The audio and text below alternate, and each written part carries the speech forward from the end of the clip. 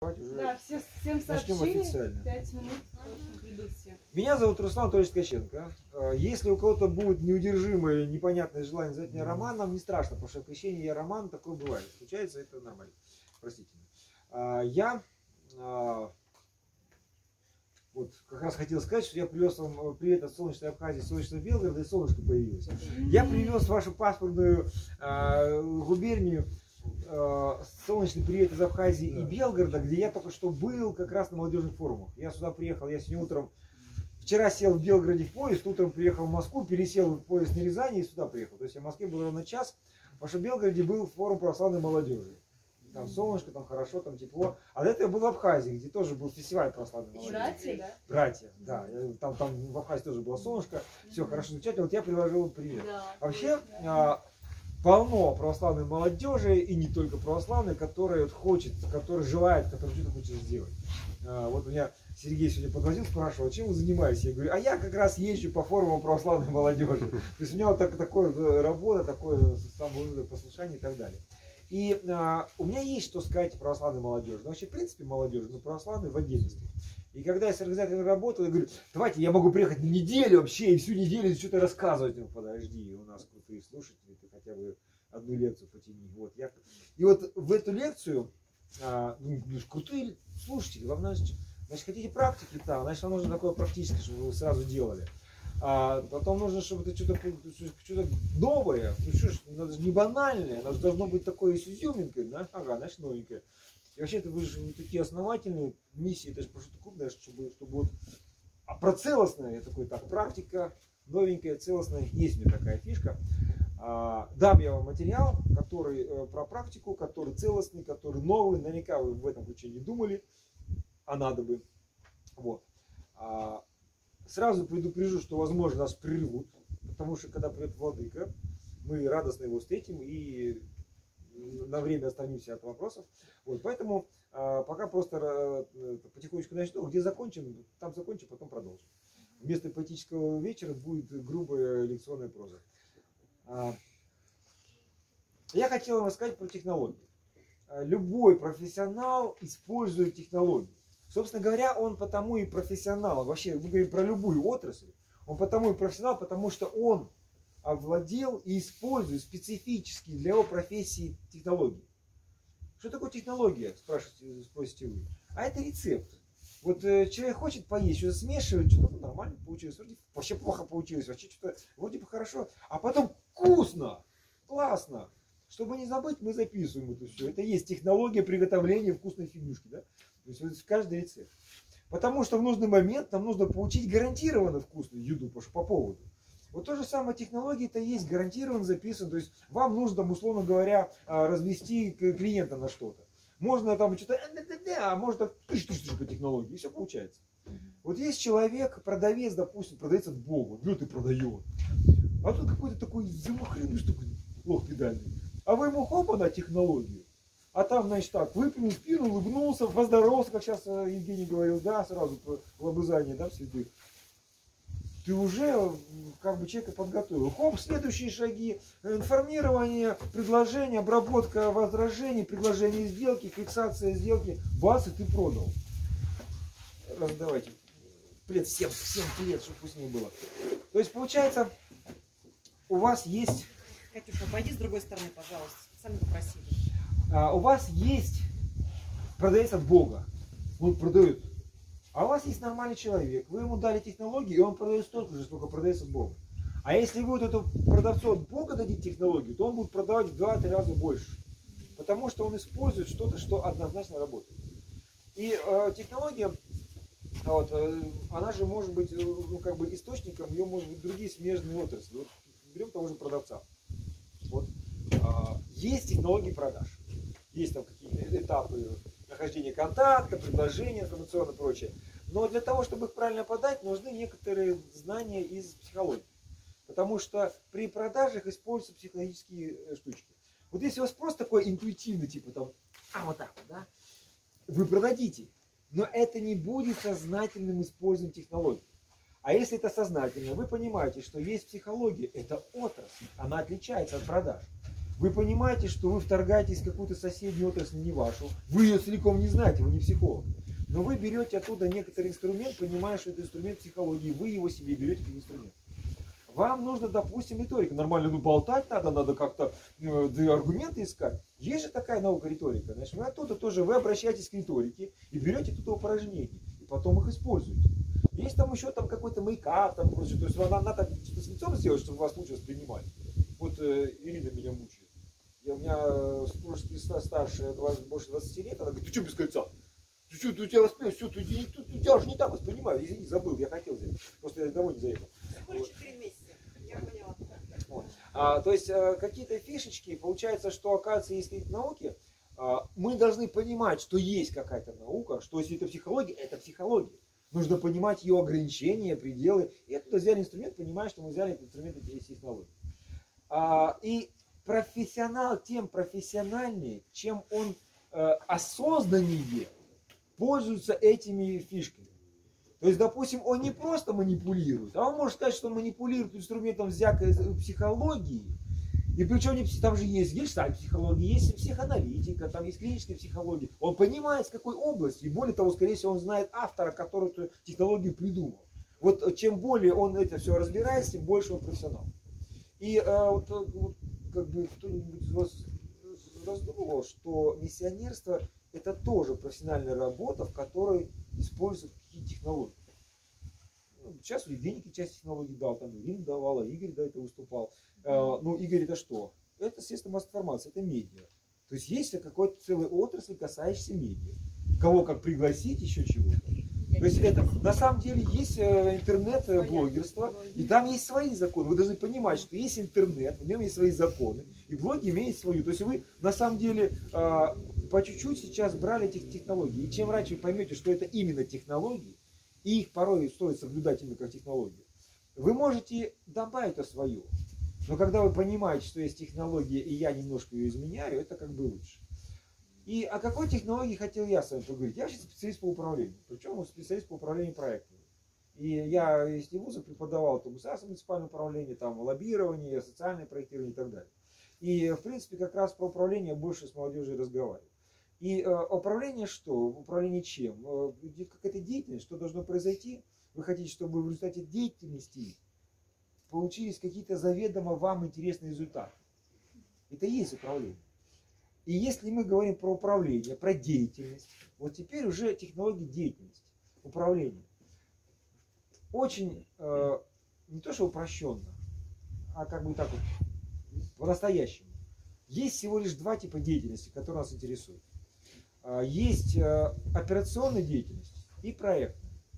Иногда мне люди возражают, типа, как же так, можно придумать еще деятельность такая многообразная. Вот, допустим, исследовательская деятельность. Это исследование, оно же не то, не все. Вы знаете, да, но не то, не все, вот именно, что не то, не все. У нас есть, допустим, четыре, знаете, психологических типа. Сангвиники, холерики, там еще что-то. Но психологи говорят, ребята, чисто сангвиника нет. Ну, есть, конечно, но это как случайность. А вообще-то у нас есть четыре базовых психотипа но в каждом человеке немножко намешано. Он, конечно, в основном холерик на 70%, но 20% там у него там меланхолика, немножко флегматика, вот поэтому такой. Так вот, в принципе, конечно, виды деятельности могут быть разные. Но вот этих два базовых принципа, и в принципе можно их намешать и получить исследовательскую деятельность. Чем эти два вида отличаются, вот это операционный и э, проектный? Операционный, ну понятно, название, операция. Что такое операция? действие, заведомо понятное, известное, обученное, с понятным результатом. И операционная деятельность – это деятельность, когда вы делаете то, что вы знаете, вы его обучились давно, понятно, что это будет, и вы это действие повторяете. Грубо говоря, операционная деятельность, это ну, человек подметает, он делает вот это движение. У него одна операция. И, в принципе, у него есть, он понимает э, площадь какую-то одну, и он понимает, что здесь начинаю, здесь заканчиваю. Вот его технология. Но ему дали, ты здесь подмел, подметай другую площадку, он делает все то же самое. Или такой простенький пример операционной деятельности. Девушка работает на кассе. Пик. Сравнила. Взяла пик, там написано батон, у нее в руках рыба. Что-то не то, да? То есть, э, пик, а, сходится, пик сходится. Это операционная деятельность. Постоянное выполнение э, какой-то э, деятельности. Известной, заранее прописанной, с четкими инструкциями. Которая является частью другой деятельности, потому что есть огромный магазин, супермаркет, там понятно, кто-то постоянно водит тележки, какой-то там охранник стоит и что- что-то делает. И весь этот чуткий такой конвейер, все, все понятно, что делать. А что такое проектная деятельность? Проектная деятельность начинается тогда, когда возникли проблемы с операционной. Когда что-то случилось, когда ты не знаешь, то есть операционная деятельность, инструкция на странице 5, открыл и начинай. Все понятно, ты просто берешь инструкцию и делаешь. А вот, предположим, девушка такая пик, пик, и чек не выходит, у нее кончилась бумага. Предположим, эта девочка никогда не меняла бумагу, она вообще не знает. Вот тут у нее впервые, и вот, что делать? Что можно сделать? Попытаться найти бумагу, кого-то вызывать, кричать, закрывать кассу или продать так, без чека. Знаете, куча, я вижу, вижу, куча разных вариантов, и все они равнозначные, причем, возможно, равнозначно неверные. Потому что, допустим, а что делать? А вот э, ничего не делать. Ребята, ничего не делать, это точно такой же вариант, такой же равнозначный, может быть, равнозначно неправильный. И вот в этой ситуации, когда что-то случилось, нужно срочно исправить. Нужно все сделать так, чтобы потом снова пик-пик-пик-пик. То есть, смотрите, в нормальном режиме идет операционная деятельность, потом произошли какие-то изменения, нужно нам что-то сделать, чтобы обратно вернуться к операционной деятельности. Может быть, немножко измененной, но она должна быть обратно вернуться. То есть проектная деятельность – это кризисная деятельность, когда у вас возникла какая-то вот ситуация измененная. А, такой пример. Вы живете в квартире. Пока вы живете в квартире, это операционная деятельность. Вы встаете утром одинаково, вы ходите в тот же самый туалет и ванную, вы кухню используете как кухню, вы спальню используете как спальню, вы просто в ней живете. И э, операционная деятельность, она по большому счету не имеет временных границ. Вот если девушка работает на кассе, она работает с 8 до 8 лишь потому, что магазин работает с 8 до 8. Если это круглосуточный магазин, лучше бы эта девушка работала тоже круглые сутки, но просто ну не может она, надо ее заменять. А в оригинале, в каком-то пределе, лучше это будет постоянно, без времени. А что такое проект? У меня сейчас закончилась лента. Вот только что, вот, ну, вот сейчас началась проблема. И ан- проблема закончилась, когда я ленту обратно поставил, все заработало. То есть получается начало и конец проекта, это естественное начало и конец. Просто когда говорят про проектную деятельность, говорят, что проект это имеет начало, э, ограничен по времени. Все таки да, вот, короче, вот у меня в рабочий день с 8 до 8. Ограничен по времени? Ограничен. Но это не проект ограничен по времени. Это какая-то, ну как бы мы решили, так удобно. А проект не мы решили. Он естественным путем ограничен. Есть начало решения проблемы, это начало проекта, и конец решения проблемы. Я это так подробно рассказываю, потому что есть куча э, курсов про проекты, книг, но почему-то там это так явно не указано, и люди этого не понимают. Это очень нужно понимать нам в контексте именно миссионерства. Сейчас объясню почему. Но сперва еще один пример проекта, чтобы вы понимали. Вы живете в квартире. Это ваша операционная деятельность. Ну там что-то вот обои отошли, там что-то немножко залили на потолке рыжие пятна, там что-то как бы линолеум хочется поменять, ковролин хочу, что-то такое. Но вы продолжаете жить в этой квартире. Там еще что-то пролили на этот линолеум, какую-то химозу, там сосед продырявил, вешал крючок у вас, штукатурка упала, вы такие чувствуете, что еще как бы хуже стало. Но вы продолжаете жить в этой квартире. Потом вы поняли, что у вас а, ужасное окно, оно старое деревянное, через него дует, скоро зима, вы замерзнете. Но вы продолжаете жить в этой квартире. То есть проблемы копятся, но вы в ней живете. И в какой-то момент вы думаете так, у меня начался отпуск, мне дали отпускные, баста, я делаю ремонт. То есть ремонт, может быть, был необходим раньше, но вы жили в этой квартире.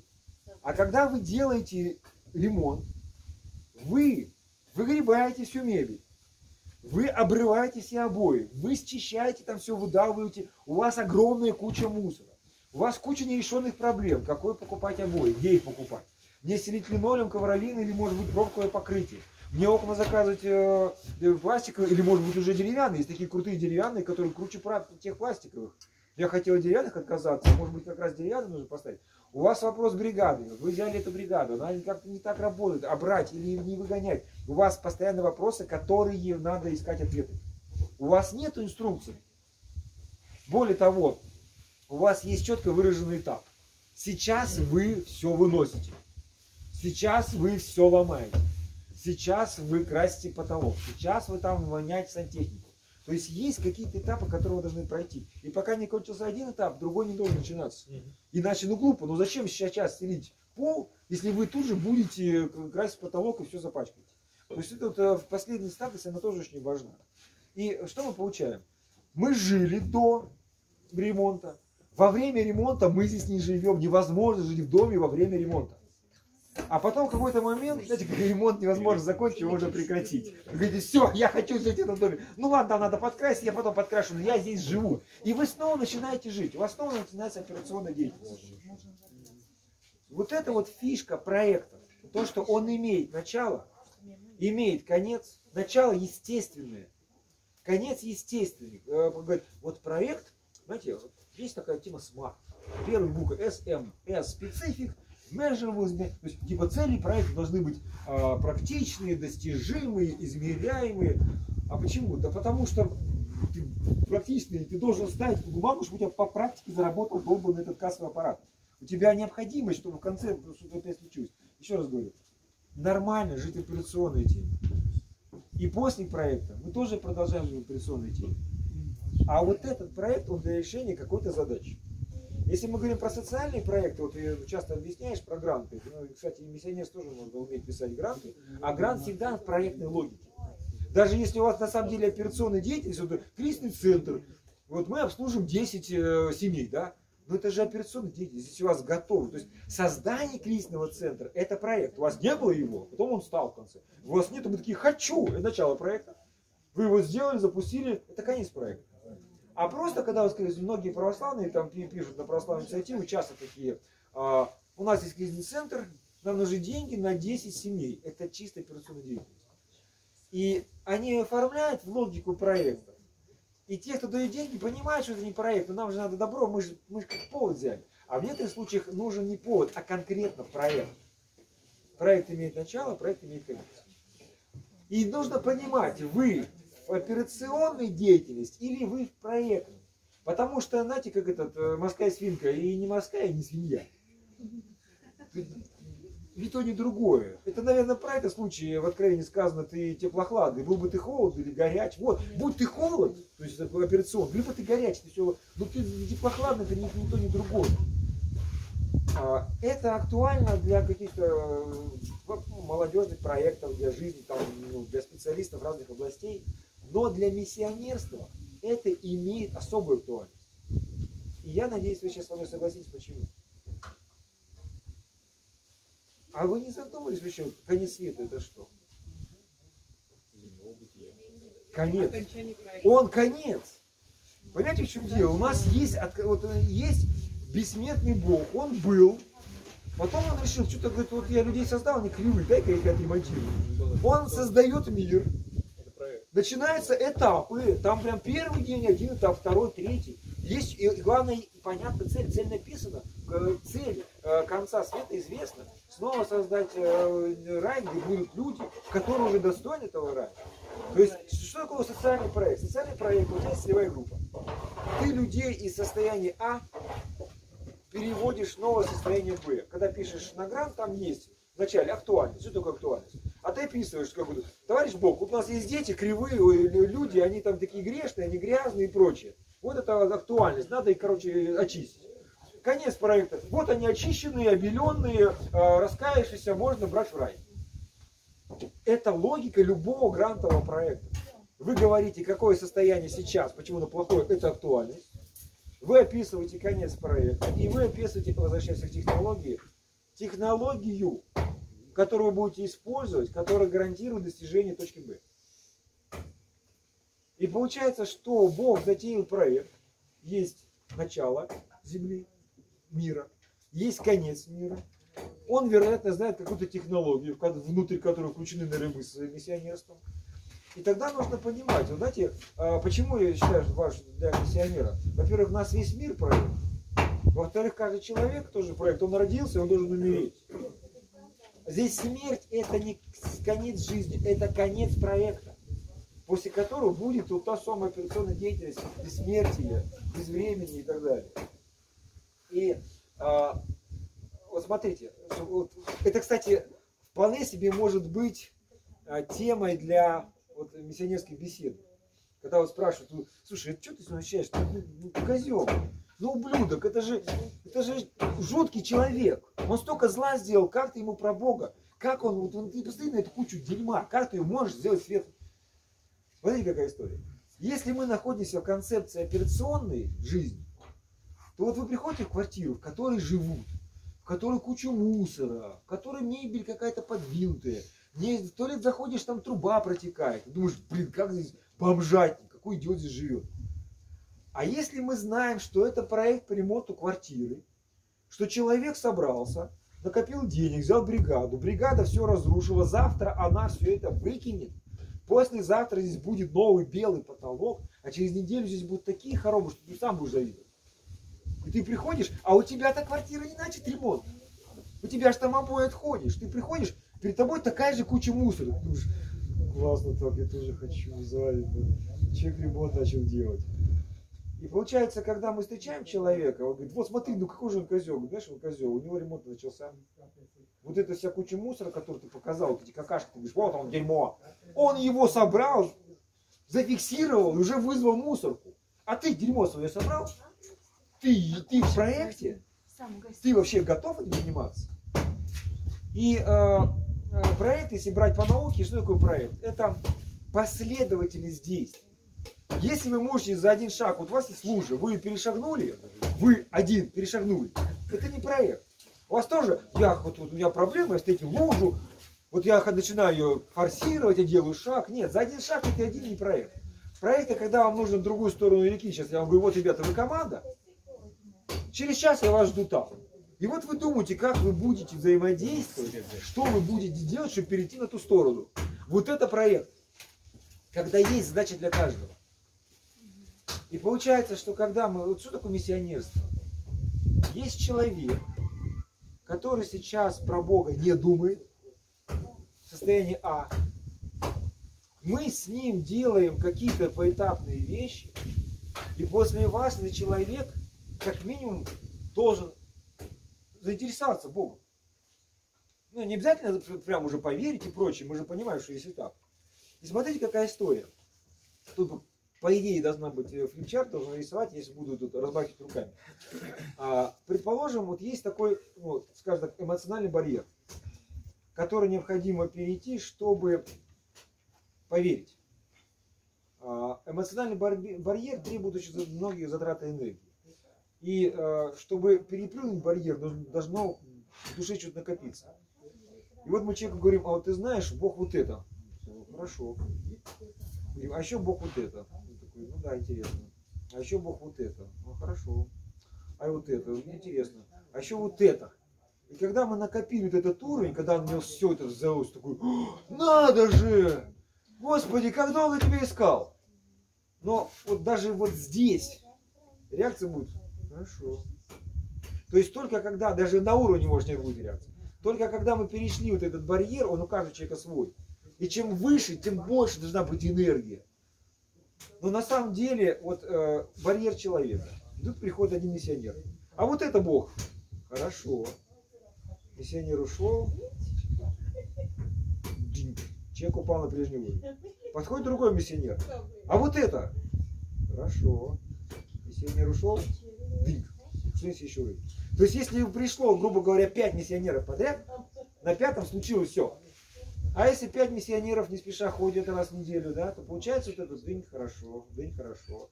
То есть, оказывается, мы по времени не просто ограничены, надо, как надо понимать, что мы человека должны перевести состояние А в состояние Б.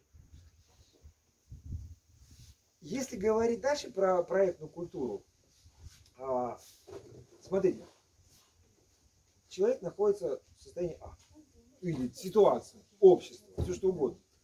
Мы хотим перевести в состояние Б. Нам нужны ресурсы. Ну, как бы, все проекты пишутся, гранты, дайте мне денег. Но смотрите, ситуация находится в состоянии А, потому что она всех устраивает. Я разговаривал с людьми, которые там 30 лет занимаются реабилитацией алкоголиков. Они подтвердили это. Что есть там э, семья, там живут несколько человек, там мужчина пьет, мы не, отдельно его не лечим. Если он 30 лет с женой пьет, тем более начал пить с женой, то как бы не общаясь с женой, ты вопрос не решишь. есть равнодействующие всех сил. Понимаете, сейчас ситуация такая, любая, потому что она всех устраивает, потому что если кого-то не устраивало, он бы давно ее уже сдвинул. И того, кто не устраивал, он ее сдвинул на место, вот здесь. Его устраивают эти такие, эти такие подвинулись, ну ладно, нас тоже устраивает. И все.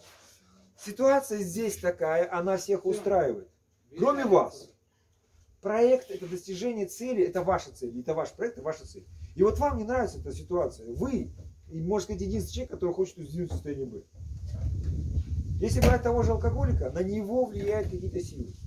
Вот, предположим, я получил грант на то, чтобы спасать алкоголика. Как? По гранту мне идет зарплата. А моя работа заключается в том, что я хожу за этим алкоголиком. Он точно только руку за бутылку, ему хрясь по руке, он дальше идет. Вот стакан, только стакан, его хрясь ему, он дальше идет. И получается, что пока мне идет зарплата, я за ним хожу, он не пьет. Но кончились деньги гранта. Я развернулся. Почему? Потому что все, что бы на него действовало, оно действует на него дальше. А проект это не перенесение ситуации из точки А в точку Б, а это из стабильной ситуации А в стабильную ситуацию Б. Потому что пока я за ним ходил, он не пил, была ситуация Б, но она нестабильная. Как только я ушел, она вернулась в лучшем случае обратно, может быть совсем в другую сторону. И получается, что я должен понимать, что сейчас есть силы, которым интересна ситуация А. а. Когда я хожу и бью ему по рукам, я просто еще одна сила, которая подтянула, еще одна. Вот висит здесь шарик условно, а он натянут на резиночках со всех столбов. И он здесь висит, потому что все резиночки, тут цепочка, тут резинка, и он здесь, потому что эти тянут. Чтобы этот шарик был не здесь, а здесь, что нужно сделать? Может быть, просто достаточно какую-то одну резиночку отрезать, и он сам вернется сюда. То есть нужно оценить всех, кто действует на эту силу, и понять, что такое с ними сделать, чтобы они баланс сместить в новую сторону. То же самое человек, он, допустим, вот не верит, а почему? Может, мы, конечно, можно не ходить, а вот слушай, Бог, Бог, а может быть там где-то какую-то одну вещь подкрутить, и сразу все изменится. И вот таких вот вещей а, в проектной деятельности много. А, у меня есть записанный курс, у меня есть партизанская ссылка, значит, нам в декабре обратились с просьбой записать курс деятельности для школ, для учителей. А, его должны, это Министерство образования обратилось, его должны были выложить на сайте ЕДУРУ, но есть такое официальное у нас образование ЕДУРУ. Но они что-то его не выложили, там что-то у них свои проблемы какие-то. Короче, э, для православных я не записал такой курс, но он, в принципе, вообще один в один такой же будет. Проблемы-то общие. Поэтому я, ну это же я писал курс, я его тихо слямтил, выложил на свой, на свой YouTube канал, и у меня по ссылке, она не публичная, но я могу выслать этот курс по проект деятельности есть. Но основная, как бы, я могу много говорить про проекты, как миссионерство в это дело вписать. Но основная моя идея, что вы поверили, э, во-первых, поняли, что профессионал работает с технологией. А, если вы профессионал, вы должны понимать, какая деятельность у вас должна быть. И надеюсь, вы поняли, что базовая деятельность проектная. Потому что человек проект, мир проект, ваша деятельность миссионерская, она проектная, у вас человек в одном состоянии должны вывести в другое. Причем каждый проект это вещь новая. Потому что у вас каждый новый человек, вам трудно найти единую технологию для разных людей. Вот тут мусульманин, верующий, неверующий, таджик, узбек или татарин, это все разные мусульмане, а мы только и, вы стоите одного, и непонятно, как он отреагирует. Это каждый раз новая задача. Вы каждый раз не будете знать, как к ним подойти. Это типичная проектная проблема. Есть технологии, как искать решение для тех задач, которые никто не знает ответ. И э, есть много информации по проектам, не вся из них вам полезна, потому что есть проект там, инвестиционный, еще чего-то.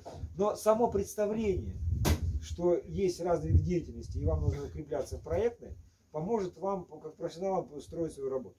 Дело тоже, еще, еще раз говорю, это как вот э, морская свинка.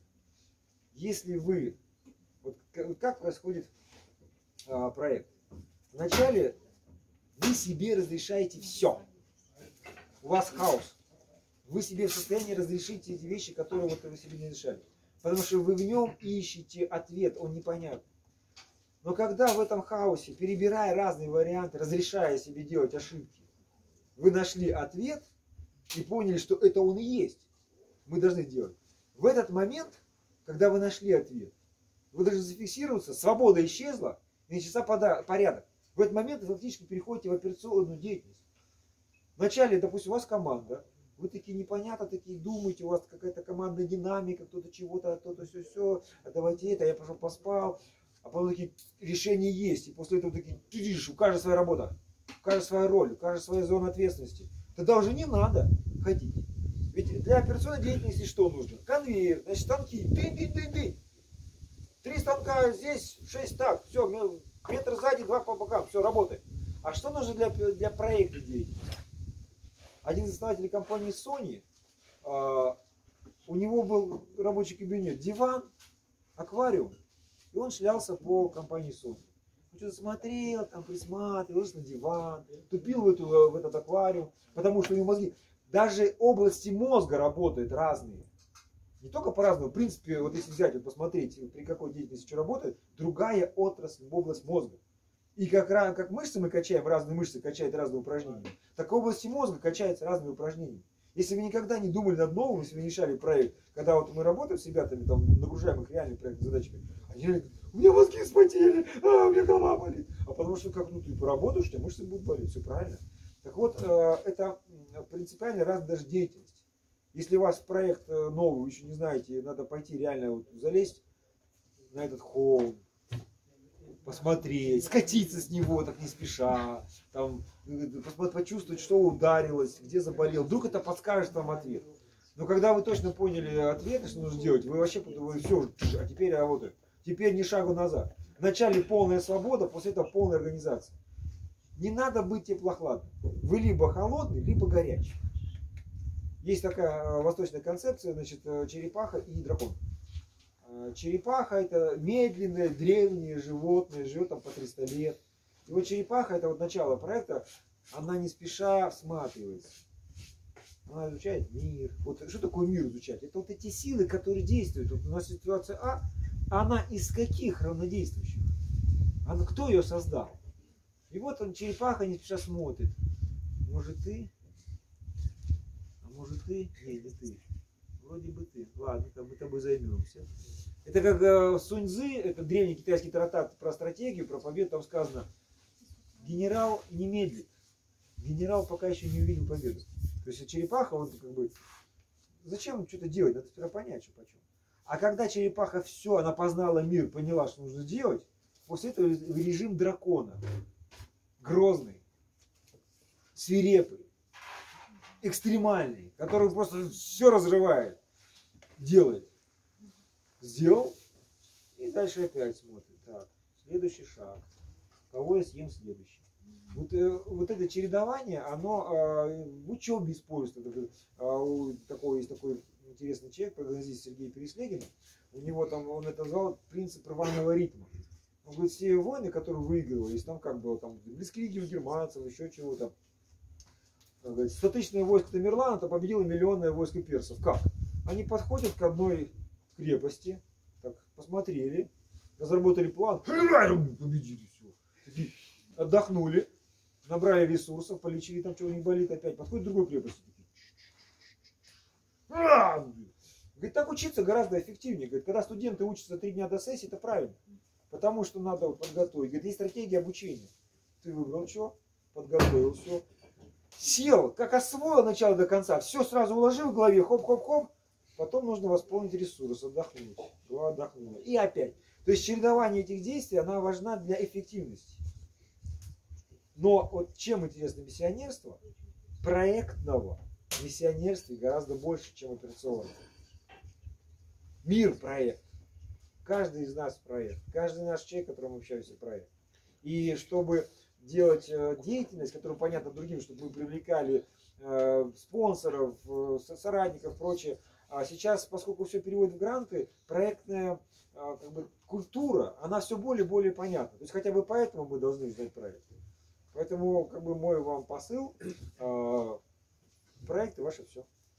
Сейчас я вас отпускаю, поскольку скоро Владыка приедет, отдохнете, и вопросы будете задавать. Вот. А там вечерком посмотрим, мучить вас дальше или будет поэтический вечер. Спасибо.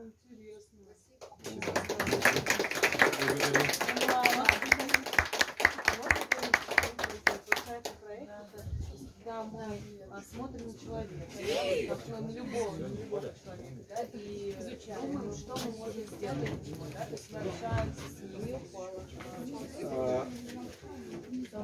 ты живешь в квартире, смотришь думаешь, ну, наверное, может быть, есть смысл, чтобы я обои сделала, а растем альтернативный свет, у тебя есть такие размышления, это не проект. Это некая там, ну, подготовка. А проект, кстати, делаешь ремонт. Если ты будешь делать его не спеша, вот каждый взял там, э, пришел после работы, оторвал одну обоину, пошла ужин готовить, поспала. На следующий день пришла, значит, после работы, оторвала вторую обоину, пошла. Сколько вот в одной комнате обоев листов? Ну, штук 12. То есть, получается, только обдирать обои будешь 12 дней. Это же это, это, это нормальный ремонт, это получается на два года жизни. А потом втя- тянешься, понравится, будешь в этом жить. А чтобы...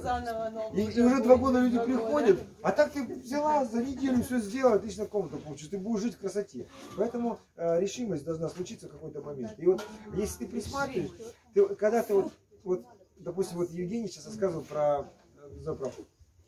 Вот, он- вот ты подходишь к кассе, вот я подхожу, говорю, девушка, мне 95-го 30 литров. И да, хорошо, карта или э, карта или деньгами. А смотришь, э, нету очереди, и девушка скучаешь. И здесь начинается. А какая разница? Давайте вот карту. Вот просто нам, как людям с душой. Есть ли разница или деньгами? Ну, а какая разница с душой? Ну, смотрите, и вот все. То есть, когда вы, то есть, э, я пришел, я как бы прицеливаюсь, там, можно или не надо.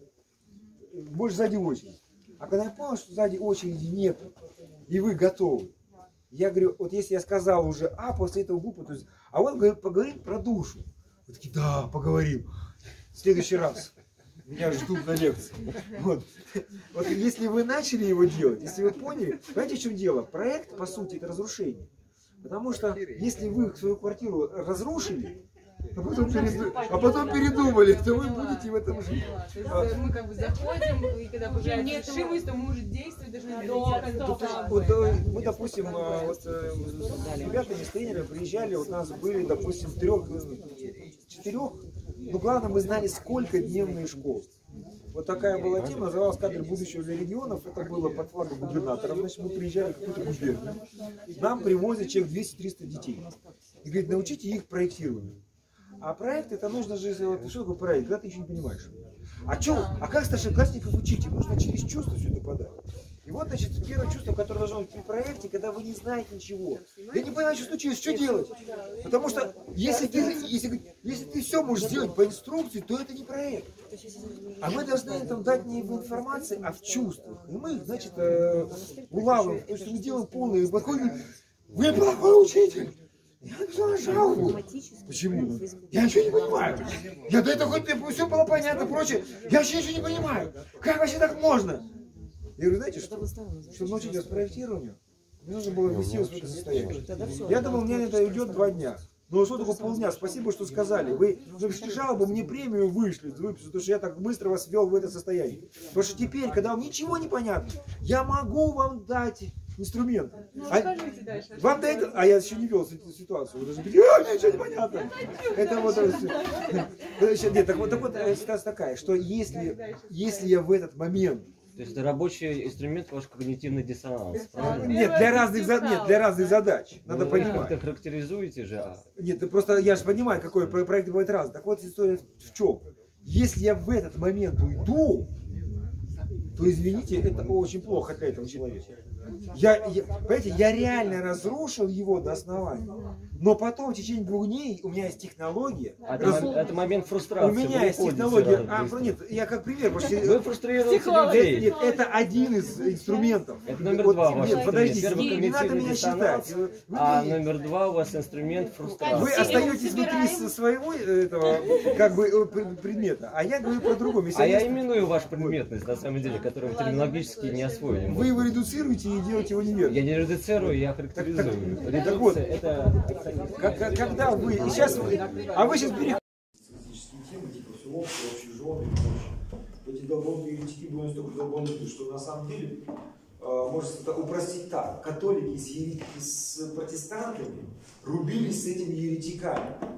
И поскольку еретиков забили окончательно, мы про них не.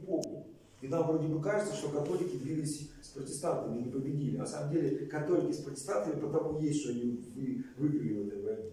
То есть вот эта вот социалистическая тема, что все общее, там общие жены, общие дети, его очень полезно знать эту историю. Вообще э, мужчина и женщина, как муж и жена, эта концепция имеет э, смысл только когда есть Бог, причем христианский.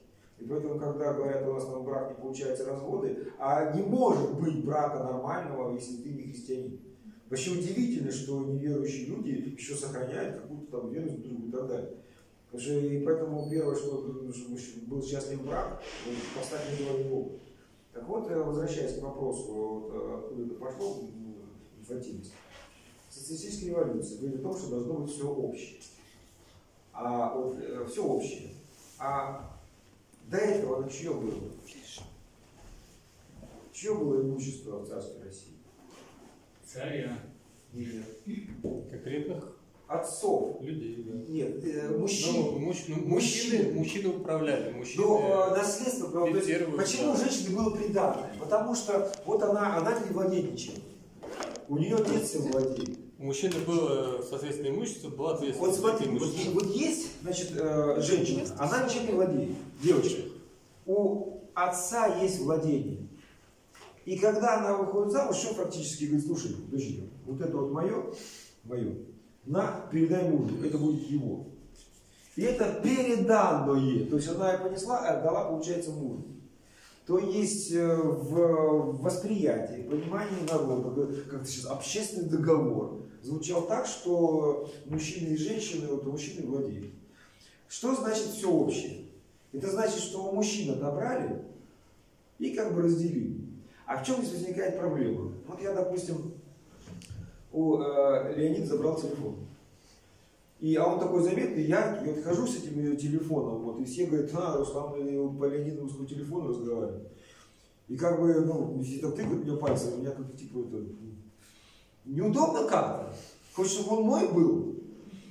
Как этот вопрос решить? Леонида,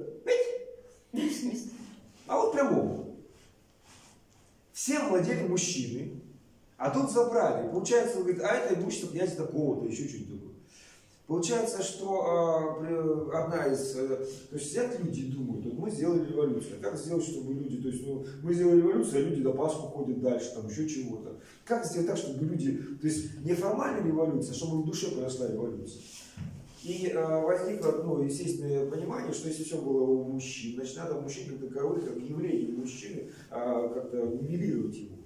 И поэтому, вот, что такое там первый декрет об абортах, о разводах и прочее, это специально, чтобы э, как-то инициировать власть мужчин.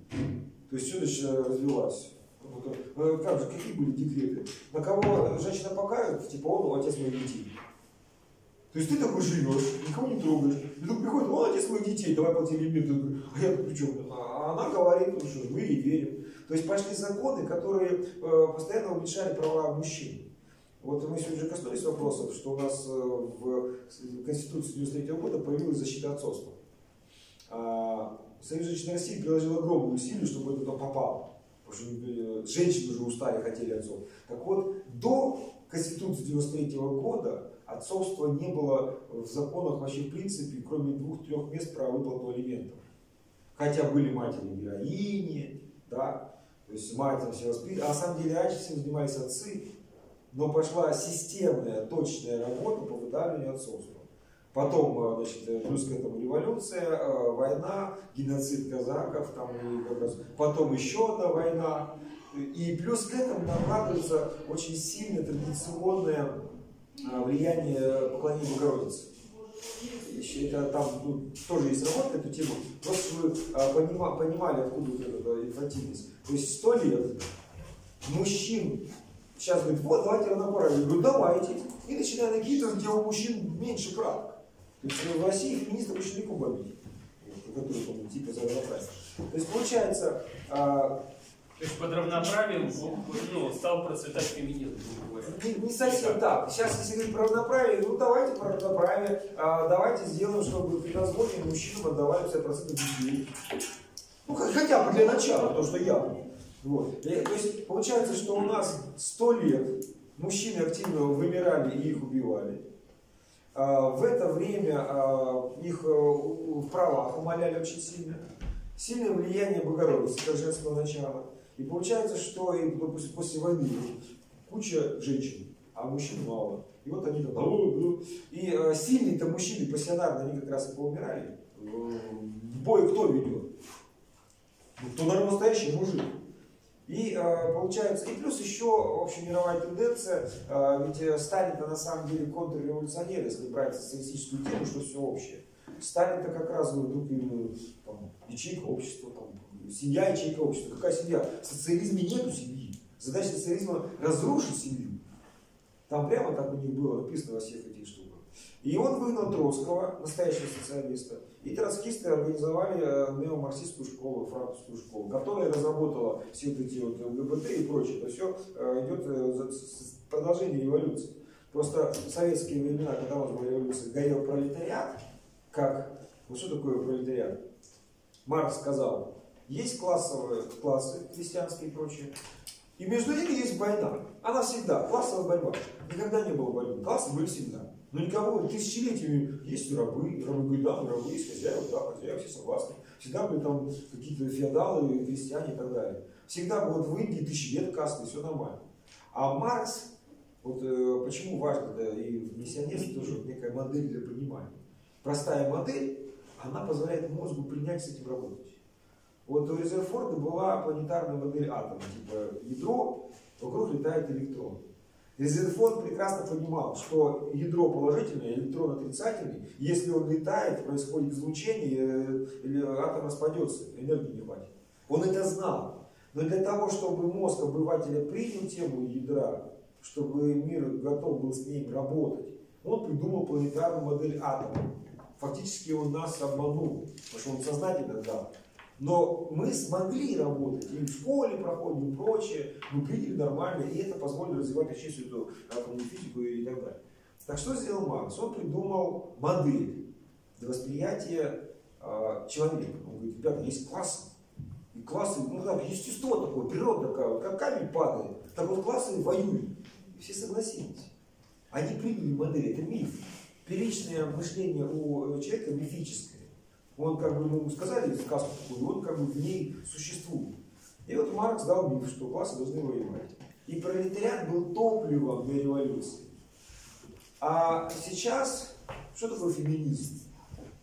Феминизм говорит, что есть женщины, есть мужчины, и между ними всегда была война, говорит феминизм. Закон семейного бытового насилия, он как раз и дает э, оружие, чтобы вы здесь, вы здесь, давайте друг друга стреляйте. Что делать, что такое ЛГБТ, почему сейчас продвигают? А потому что, знаете, есть вот э, репрессивные там христиане, они угнетают бедных этих э, педиков. Педики дали, то есть угнетение это дает право э, восстания. То есть если ты угнетен. Что, как Россия разрушает? Россия тюрьма народа. Ну, а на самом деле ровно наоборот. Именно в России родились и созрели большинство существующих, там, Финляндия, там, спасена Грузия, калмыки были, если Россия умерла, умерли бы там, их казахи убили. Казахи бы умерли, потому что когда они чуть калмыков не зарубили, их тоже там пришли там узбеки. То есть Россия поспасала кучу народу. Но фраза «Россия тюрьма э, для народов» дает право восстать против народов. БЛМН откуда взялось? Негры были угнетены, сейчас они не угнетенные, но это же вы имеете право восстать, сказали им. Вот э, много лет пытаются запретить э, телесное наказание для детей. В Европе запрещено. А что это такое? А это, ребята, значит, вас родители угнетают. Это значит, вы имеете право восстать против родителей. То есть прямое разрушение пятой заповеди. Это, а, то есть, э, получается, модель. Ее озвучивают. Мозг любит модели. Он воспринимает эту модель. Думает, куда, ну, надо воевать, ладно, надо, так надо. Ну, классы воюют, я крестьянин, ты буржуй. Извини. Природа такая, я-то что? То есть это вот с чем мы соглашаемся. Вот, это к тому, что э, то, что мужчины сейчас инфантильные, а женщины наоборот э, бойкие, там много причин. И э, надо понимать, что это системная болезнь, вот мы сейчас к этому пришли, и надо, вот э, проектное мышление в чем заключается? Как раз одна и один из этапов проектного мышления, вы должны всю эту картину представить. Не просто, что сейчас надо так вот, надо мужиков, мы сейчас их заводим на сайт, и на сайте они у нас будут там что-то просвещаться. А э, началось все с того, что у них забрали ответственность. И э, я э, обожаю, вот у меня есть всякие занятия лекции, когда я в процессе движухи на- навешиваю на, людей ответственность. То есть лекция прошла, а после этого они понимают, что это теперь не зона ответственности, теперь как бы уже... а, потому что у мужчины тогда начнется тестостерон и прочее, когда он будет ответственным. А когда он будет ответственным? Когда от его действий что-то имеет значение. Когда он может принять решение. И вот про это мы сейчас поговорим, про суть управления. А, чтобы а, и других правильно учить, и самому понять, что происходит, нужно понимать, что такое управление. А, какие-то вот не, не термины, а вот какие-то базовые слова накидайте, вот как э, ассоциации при слове управления. Какие вот, что, вот помогите мне, что приходит на ум при слове управления? Власть. Организация. Ответственность. Это, это я сказал, ответственность сразу пришла. Порядок. Организация и координация. Организация, Мотивация. иерархия, мотивация. Дисциплина и концентрация. Координация. А что такое управление? Смотрите, во-первых, вы накидали много, много синонимов. Порядок. Что такое? Вы, нет, вы накидали синонимы, то есть организация, управление, а, там, наведение порядка, там. То есть, а, ну, что такое организация? То же самое, что управление. Типа контроль. А контроль, вообще, что контроль это управлять, да? Менеджмент. To manage тоже управлять. То есть вы просто разными словами называете. А как, что значит управлять? Система. Контроль. Ну, контроль, да, control управлять. Это есть дос- дословный перевод с английского. Орган- Дружество. Как субъект, а кто управляет объектом? Э, Достичь результата. училась, понятно, субъекта. То есть, то есть, э, но, но тем не менее, пр- правильная вещь. э, Мы же а, управлять всегда чем или кем-то. Да? То есть нету типа управляешь. Ты кем-то или чем-то управляешь? Вести к цели. Потому что ты стоишь в пустыне, я управляю чем? Объектом. Ну, в любом случае, получается, что есть кто-то. А, смотрите, когда а, я отмечаю, ну, там, значит, некоторые говорят, цель. То есть мы управляем для чего? Мы же для чего-то, не только кем-то, но и для чего-то управляем. То есть есть какая-то цель. Что такое цель? Хотя бы в концепции вчерашнего разговора. Что такое проект? У То, него чего ты хочешь достичь. да, у проекта есть начало и конец. Начало – это некое состояние, конец – это будущее состояние. Так вот, цель – это будущее состояние. Понятно, что сейчас мы этого не достигнем, то есть этого сейчас нет, иначе смысл проекта. Это то, что мы хотим получить. А, Значит, э, как можно, вот что такое проект? Проект – это последовательность действий. То есть, оказывается, чтобы достигнуть цели, нам нужно провести какие-то действия. Или, можно деятельность. То есть что-то делать надо, чтобы возникла цель. И вот здесь, как бы, э, суть управления. Кто дел- делает, кто действует? Команда. Ну, Человек. актор, а, субъект. Все действия. И Что хотите? Субъект управляет объектом. Действует, Действует объект. Ну, субъект. Субъект. Разве А субъект действует кто. Делает объект. кто? Ну, субъект. Объект. А, объект, да. Делает Вот. объект. Вот, Да, да. вот. А субъект Поймите, вот это вот многие не понимают. Значит, Прямой а, исполнитель объект, конечно. Смотрите, а, если брать чистое управление, чистое управление, то настоящий управленец работает вот так. Да-да-да. Это что? Делать-то кто? Подчиненный. Кто-то делает, потому что мы, мы потому и управляем. То есть наш, моя машина везет 5 тонн груза. Не я ее тащу, эти 5 тонн груза. И она везет. Я управляю ей, она везет. То есть в чистом виде вам работать не надо. Ну, Это не очень эффективный способ. Какой-то про Суворова говорили, что Суворов, почему его так уважали, У что нас он сейчас- первым шел. Это, кстати, тоже элемент управления. Да. Потому что он один Измаил его не взял. Как бы он не бегал вокруг Измаила, он бы его не взял. То есть, вот поймите, пожалуйста, первое. Работает не субъект, а работает объект. Это, знаете, А, Есть такой Владимир Тарасов, если хотите в управлении что-то понимать, запишите. Значит, это первый бизнес-тренер в СССР, то есть он даже не в России. Он в СССР появился, в Эстонии открыл первую школу бизнеса. Ныне здравствуйте, у меня есть куча книг, там, э, управленческие войны и так далее. И вот у него есть э, цикл 8 стадий управления. И э, у него там на первой стадии это управление с мамочка. Так, э, пиши, да, да, управление с мамочка. Так, ты поменяй карандаш на это, а вот здесь мы с тобой вместе смотри, вот здесь. Ага. То есть управление с мамочка, он бегает за всеми и фактически за всю работу выполняет за, за, за подчиненного.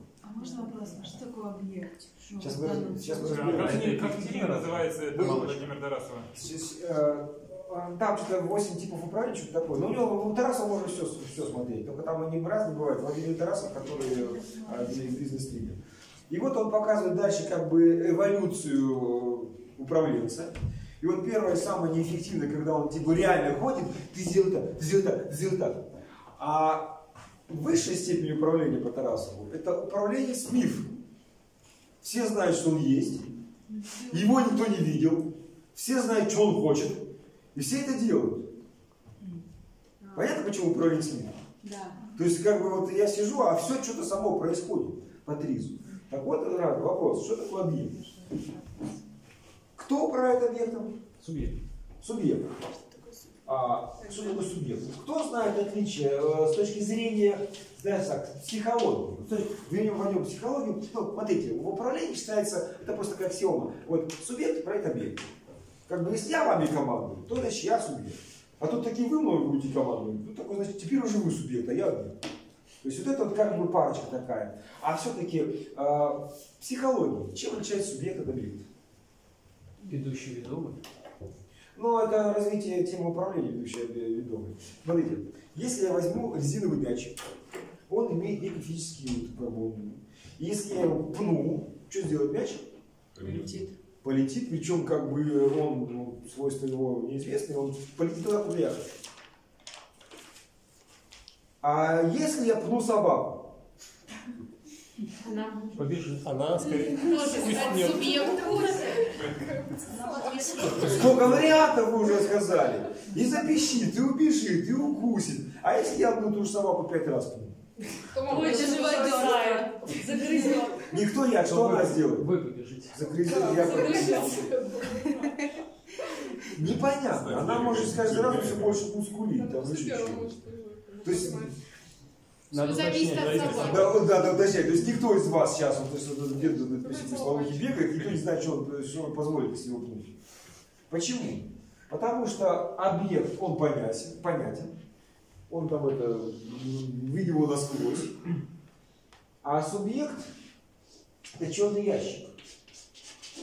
Вот э, сюда пришло воздействие и реакция. Она, в принципе, такая же. А в чем внутри вот здесь не ясно. Сюда что-то приходит воздействие, а сюда может, сюда может, сюда, может, вообще не понятно, вообще не отреагируют. А почему? А я не знаю, там что-то внутри происходит. Есть внутренняя какая-то деятельность. И э, с точки зрения управления, вот что такое субъект? Это что-то, обладающее волей. Воля. То есть, когда в управлении, мы должны думать о слове воля. Я когда э, смотрю проекты, люди приносят проекты, я говорю, а ты здесь где? Где вот тебе что надо? У тебя что болит? Ты что изменяешь? Что ты хочешь изменить? Ой, не знаю, был классный проект, короче, вот, э, Леня классный евангельский кружок предложил, я тоже как бы надо что-то повторить. А ты хочешь евангельский кружок? Тебя э, распирает то, что люди глупые не читали Евангелие? Да нет, как бы я сам особо не знаю. Так что ты пишешь этот проект? То есть это уже не проект, потому что там у человека воли нет. Там его нету. Субъект – это наличие воли. Вот это су и о отличается именно наличием воли. И когда мы говорим, что во время управления достигаются цели, это наши цели. Слово воли прячется в цели, наши цели. Моя, ваша. То есть, если вы, а, вас поставили на должность и сказали, давай достигай этих целей, вы уже не управленец. У вас есть менеджерская как бы, функция, и вы тут организуете, да, контролируете, но вы не управляете. Как понять, ваша должность управленческая или нет? Если вы можете самостоятельно решать, на что и сколько тратить денег, или, например, вы можете самостоятельно решать, увольнять или оставлять э, сотрудника, это ваша обязанность решать, то вы управленческую занимаете должность. Если у вас все расписано, то вы не управленец, вы менеджер. Кто? М- менеджер. Оператор. Да, дис- дис- диспетчер фактически. Стрелочник. То есть, э, смотрите, а, управление – это когда вы придумали цель, причем это ваша цель, она вам интересна. И весь мир кругом вертится, чтобы эта цель была достигнута. Но не вы. В идеальном, в чистом управлении вы ничего не делаете, кроме э, расстановки целей. То есть, конечно, можно самому все это там сделать, но это, это, это ну, благодарно, это добродетельно, это иногда эффективно, но с точки зрения вот, управления, как вот э, явления, это не управление уже. Классическом чистом управлении вы ничего не делаете, кроме цели. То есть есть какие-то объекты, которые такие, о, наш хозяин цель нам дал, какой-то э, мультфильм, там, э, сокровище волшебника Ба- Бахрама, там такой был там, э, работник, такой, хозяин, я в той пещере все сделал, эту. Такой. Вопрос. С какого перепуга объект достигает наших целей? Субъект действует. Ну, а, руководитель МИФ Да, финансовая мотивация. Если достижение той цели способствует достижению его цели. Если он сам Ну, получает у машины есть, у машины есть цель, я ее- Его определенных, его Нет, я определенных у машины есть цель, машина есть, я управляю. То есть нужно заразить целью. Какую цель машина? Вот есть машина. Ну, потому что, может быть, объект подчиняется механизму, который на него действует. Вот э, стул выполняет мою цель. Я хочу так сесть хорошо, удобно. Но он предназначен для того, чтобы Объект А кем он предназначен? Одушевленный или неодушевленный? А управление мы смотрим общее. То есть мы сейчас вообще в управлении. И когда мы говорим вообще, мы управляем чем угодно. Так вот, э, э, почему э, можно управлять объектом? Потому что у объекта есть свойства.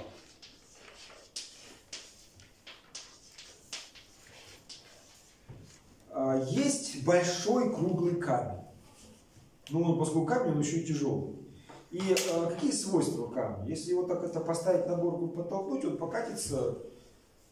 Вот там такой есть свой коз- козел.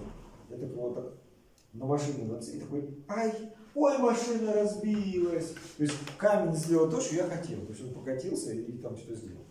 Есть большой квадратный камень, огромный. Он фиг покатится. И поэтому я могу спокойно положить камень на крышу, к нему привязать э, веревку спускаться по лестнице, ой, по стене, лазить на этой веревке. Она никуда не денется, потому что камень тяжелый, и веревка с него не соскочит, потому что он квадратный. То есть э, есть свойства объектов, и именно благодаря свойствам мы можем использовать, и у человека тоже свойства и так далее. Э, Если смотреть эти свойства дальше, они есть двух сортов. Они есть уже имеющиеся у него. Камень круглый, катим. Камень квадратный, ну, сели на него, там еще что-то. То есть мы его используем, как нам интересно. А есть а, другой вариант, э, а, мы ему новые свойства, приобретенные. То есть камень квадратный, а мне нужен круглый. Я его обтесал, он стал круглый, теперь нужны свойства, и дальше он делает то, что я хочу.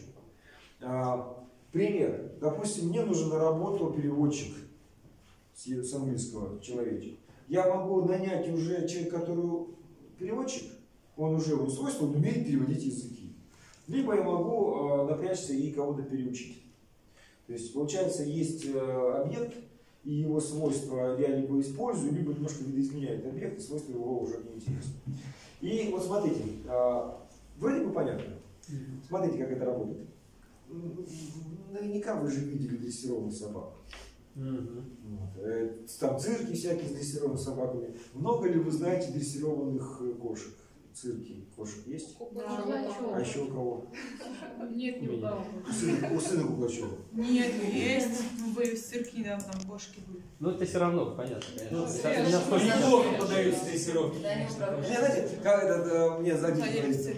с- когда говорят, что слово кошка и дрессировка несовместимы, я смеюсь, потому что любая кошка за три дня надрессирует своего хозяина.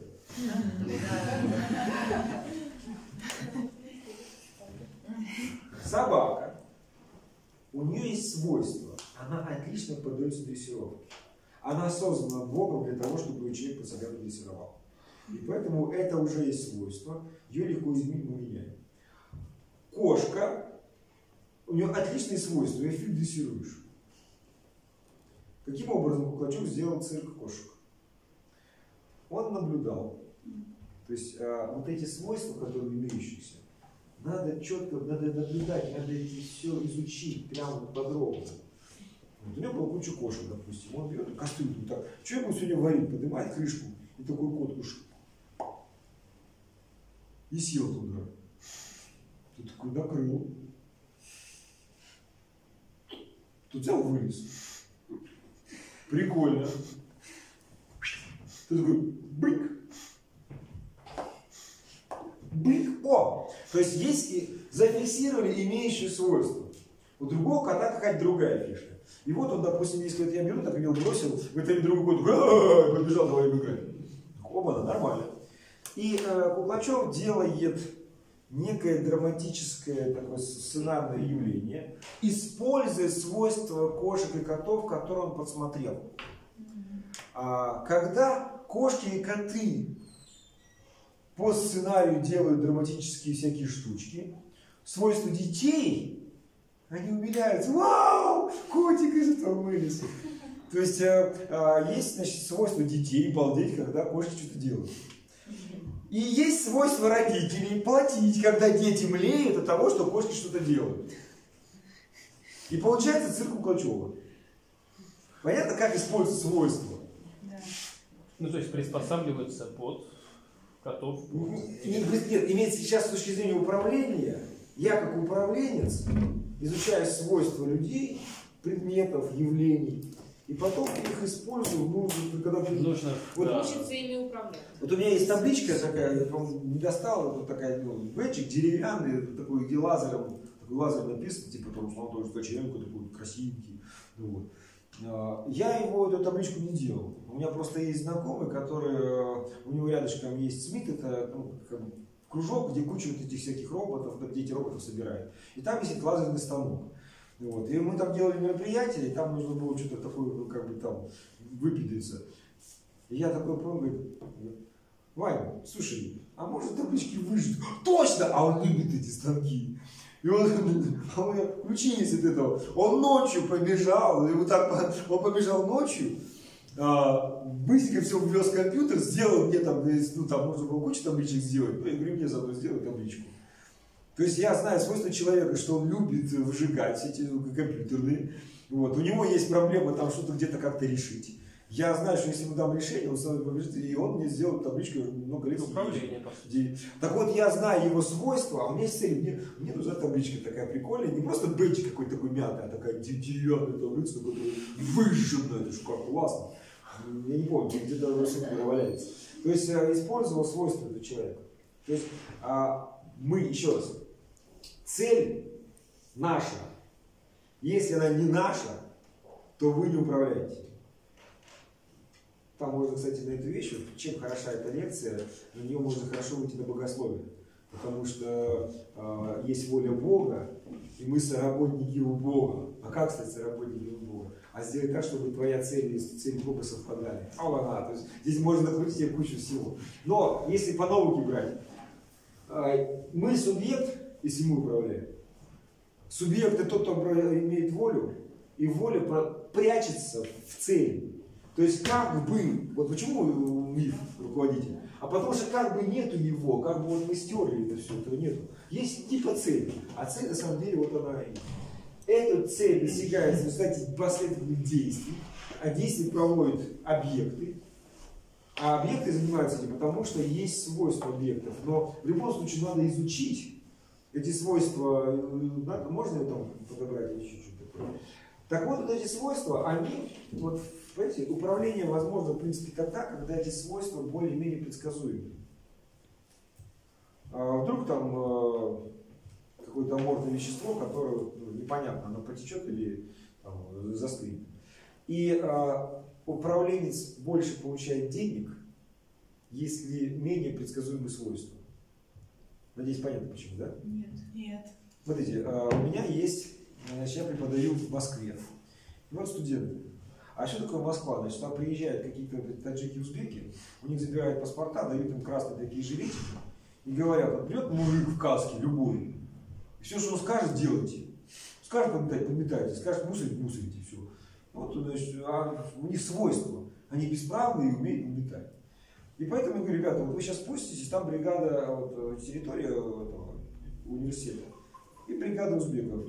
Вы сможете ими управлять? Сможет. Потому что каску отделают, и любой, кто одел каску, будет управлять этими узбеками. То есть свойства этих узбеков понятны, предсказуемы. А это вот другая задача. Кто ее выполнит, тому поставлю не только пятерку, но еще буду бегать по другим преподавателям, чтобы они поставили пятерку. Сейчас я сгоняю профессорский преподавательский состав универа вниз.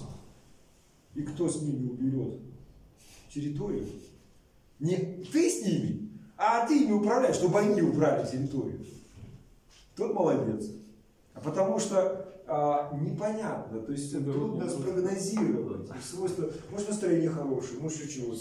Если ты э, смог увидеть каждого преподавателя вот этого субъекта, объекта, понял их свойства и правильно их подкрутил, то ты значит крутой управленец. Поэтому если свойства предсказуемые, значит управлять этим легко, тогда нафига платить этому управленцу?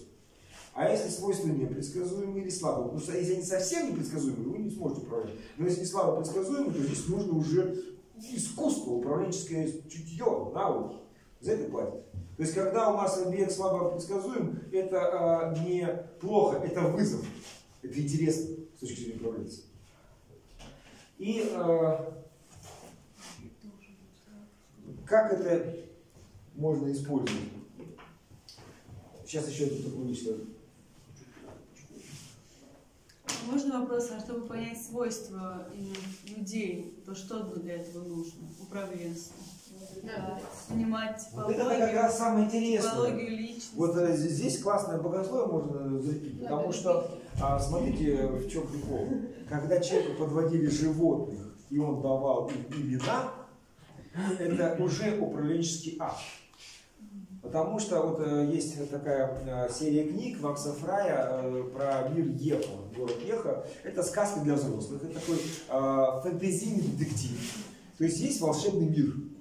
И там много-много книг, в этом, ну, это чтиво чисто для отдыха. Оно приятное, спокойное. Сказка а, Макс Фрай.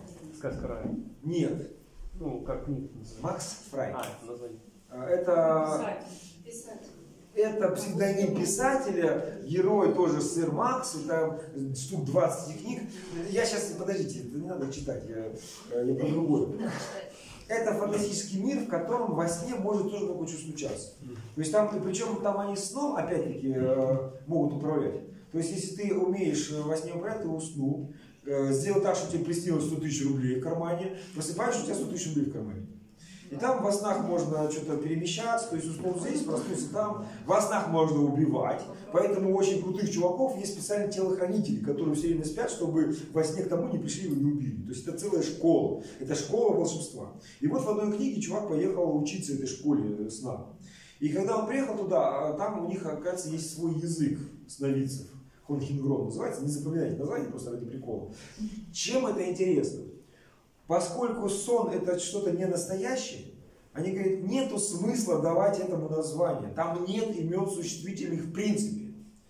И когда человек рассказывает сон, он говорит, вот а, как бы светящее, как бы сильно, как бы ударило. То есть получается есть признаки, то есть есть прилагательные, наречия, глаголы.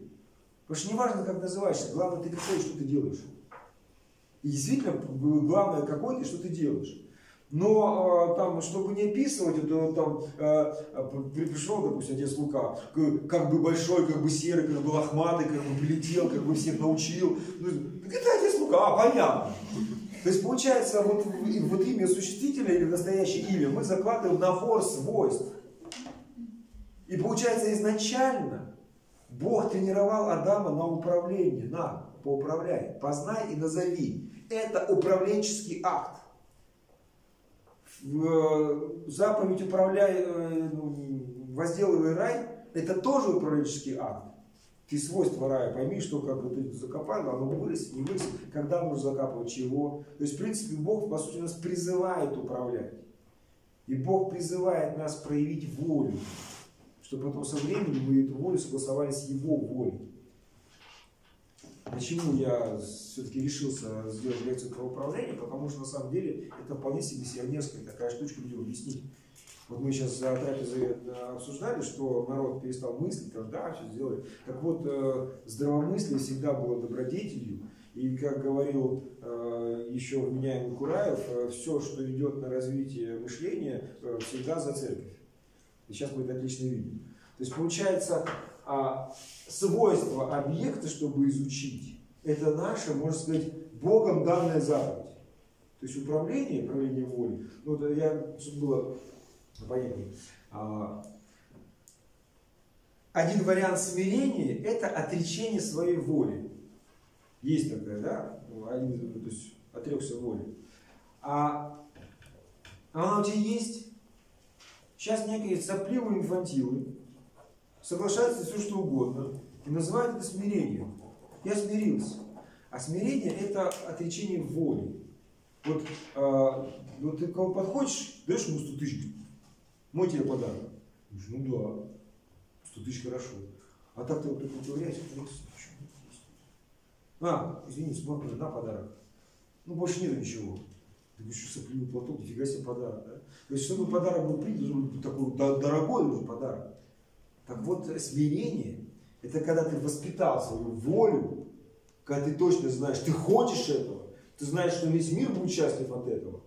Не абы мне в голову пришло, а ты ее измерил, все проверил, все свойства, а потом уже смиряешься, говорит Бог, вот не не я, но ты. То есть, в принципе, управление вполне себе это заповедь Божия, когда он нас к этому призывает. Так вот, э, это к вам материал для миссионерства.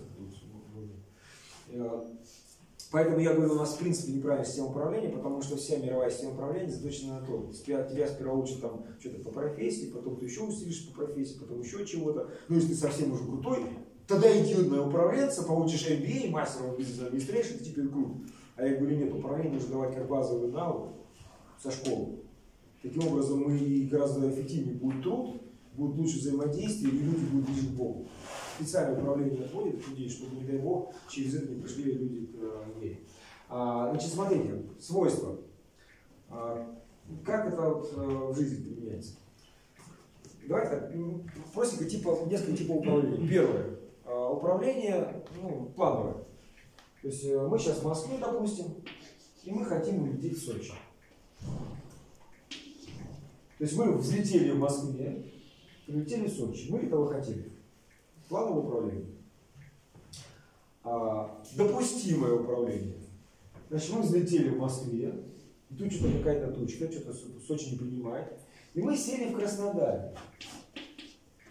В принципе, допустим, если вы хотели там какой-нибудь там Дагомыс, Лазаревское или там поехать в Абхазию, по большому счету без разницы, вы сели в Сочи или в Краснодаре, ну на электричке просто на час больше будете ехать. Согласны? Соответственно, это допустимо. Мы примерно это, мы летели в отпуск, всяко мы уже на юге, солнце, и мы сюда прилетим. То есть первое плановое, второе допустимое. Третье ошибочное. Мы взлетели в самолете в Москве и сели в Хельсинки. Это другое направление движения. Друг, ошибка. Я, то есть здесь не ошибка. Ну, бывает. Там тучка где-то летела. А получается, здесь мы сели в Хельсинки, мы ошиблись. А есть еще четвертый вид управления, называется аварийный. Если кто помнит, был раньше такой тележурнал «Каламбур». Молодые не помнят, а раньше был очень популярный. А, Это а, постоянно такие маленькие серии на заданную тему. Там была «Деревня дураков», там про бар. И там был такой а, те- те- телесериал э, «Пассажирский лайнер Бройлер 747 терпит крушение на протяжении 800 серий». И вот там каждая серия они летят. Вот, вот. Э, Что такое терпит крушение лайнера? Он падает. А что он падает? А почему он летел? Смотрите, у самолета были свойства, нам известные. Там, закон вернули, если у тебя крыло вот такое, если у тебя там есть реактивный двигатель, еще что-то такое, там тяга туда-сюда, он летит. И он нормально летит. А что такое авария? Он перестал лететь. Почему? Нарушено Кто-то отказался. Свой, да, поменялись свойства. И э, э, такой реальный случай, значит, э, летел самолет, а у него была вот такая вот геометрия простенькая, вот крылья, а вот здесь у него висели двигатели. Вот. И там какое-то оперение.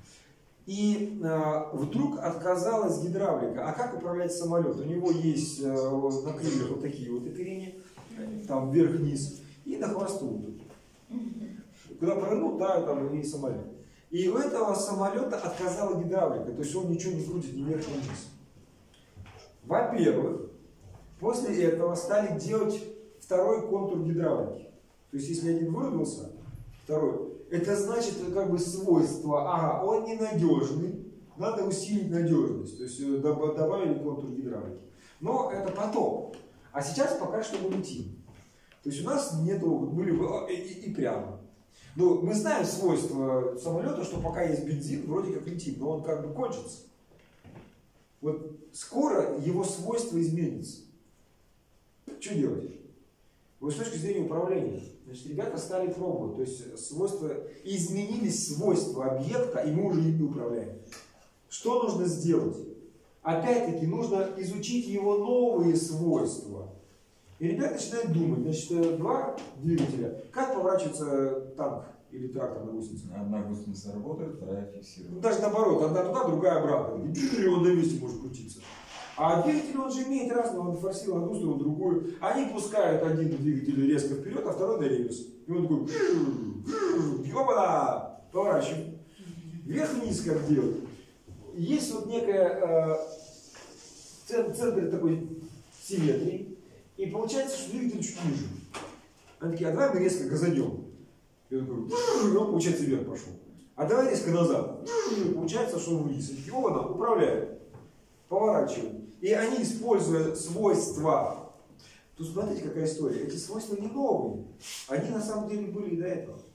Их, их усмотрели. То есть получается, когда есть авария, что такое авария? Изменились свойства управляемого объекта. И вы как управление что должны сделать? Либо вернуть свойства обратно, если нет такой возможности найти его новые свойства, чтобы их использовать. Потому что если вы не нашли, то вы потеряли управление. Потеря управления – изменение свойств. А, пример. Есть фирма, и работники уважают директора, владельца и работают за совесть. Нормальный такой коллектив, они работают. Свойства этих работников, они уважают директора. Это мотивирует их на хорошую работу. Потом случается какой-то странный конфликт с одним из работников. Этот работник приходит и говорит, ребята, да он козел. И показывает, почему он козел. Свойства работников изменились. Приходит директор, а у меня фирма не работает, говорит, ты, козел. То есть фактически у нас получилось аварийное управление. То есть у нас были одни свойства этого коллектива, а теперь свойства другие. И тогда, ну, если делать, вернуть обратно, то есть да нет, ребята, как бы он вас э, немножко обманул, давайте вот вернемся. Или второй вариант, то есть, допустим, ну не знаю, бывают люди, когда, как это в анекдоте, ложечки нашлись, осадок остался. То есть люди же были, да нет, у них получилось какое-то эмоциональное переключение, и все, ты козел, козел, то есть он ничего не может нам объяснить.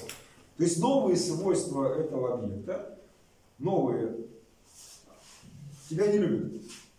Ты такой, а, они, наверное, боятся все-таки. Шабанара! Работает, сейчас гастарбайтера приведу. Ты же не изменяешь, я расскажу ей. У тебя срок есть, вот у меня все, у тебя там еще что-то, у меня, и меня просто.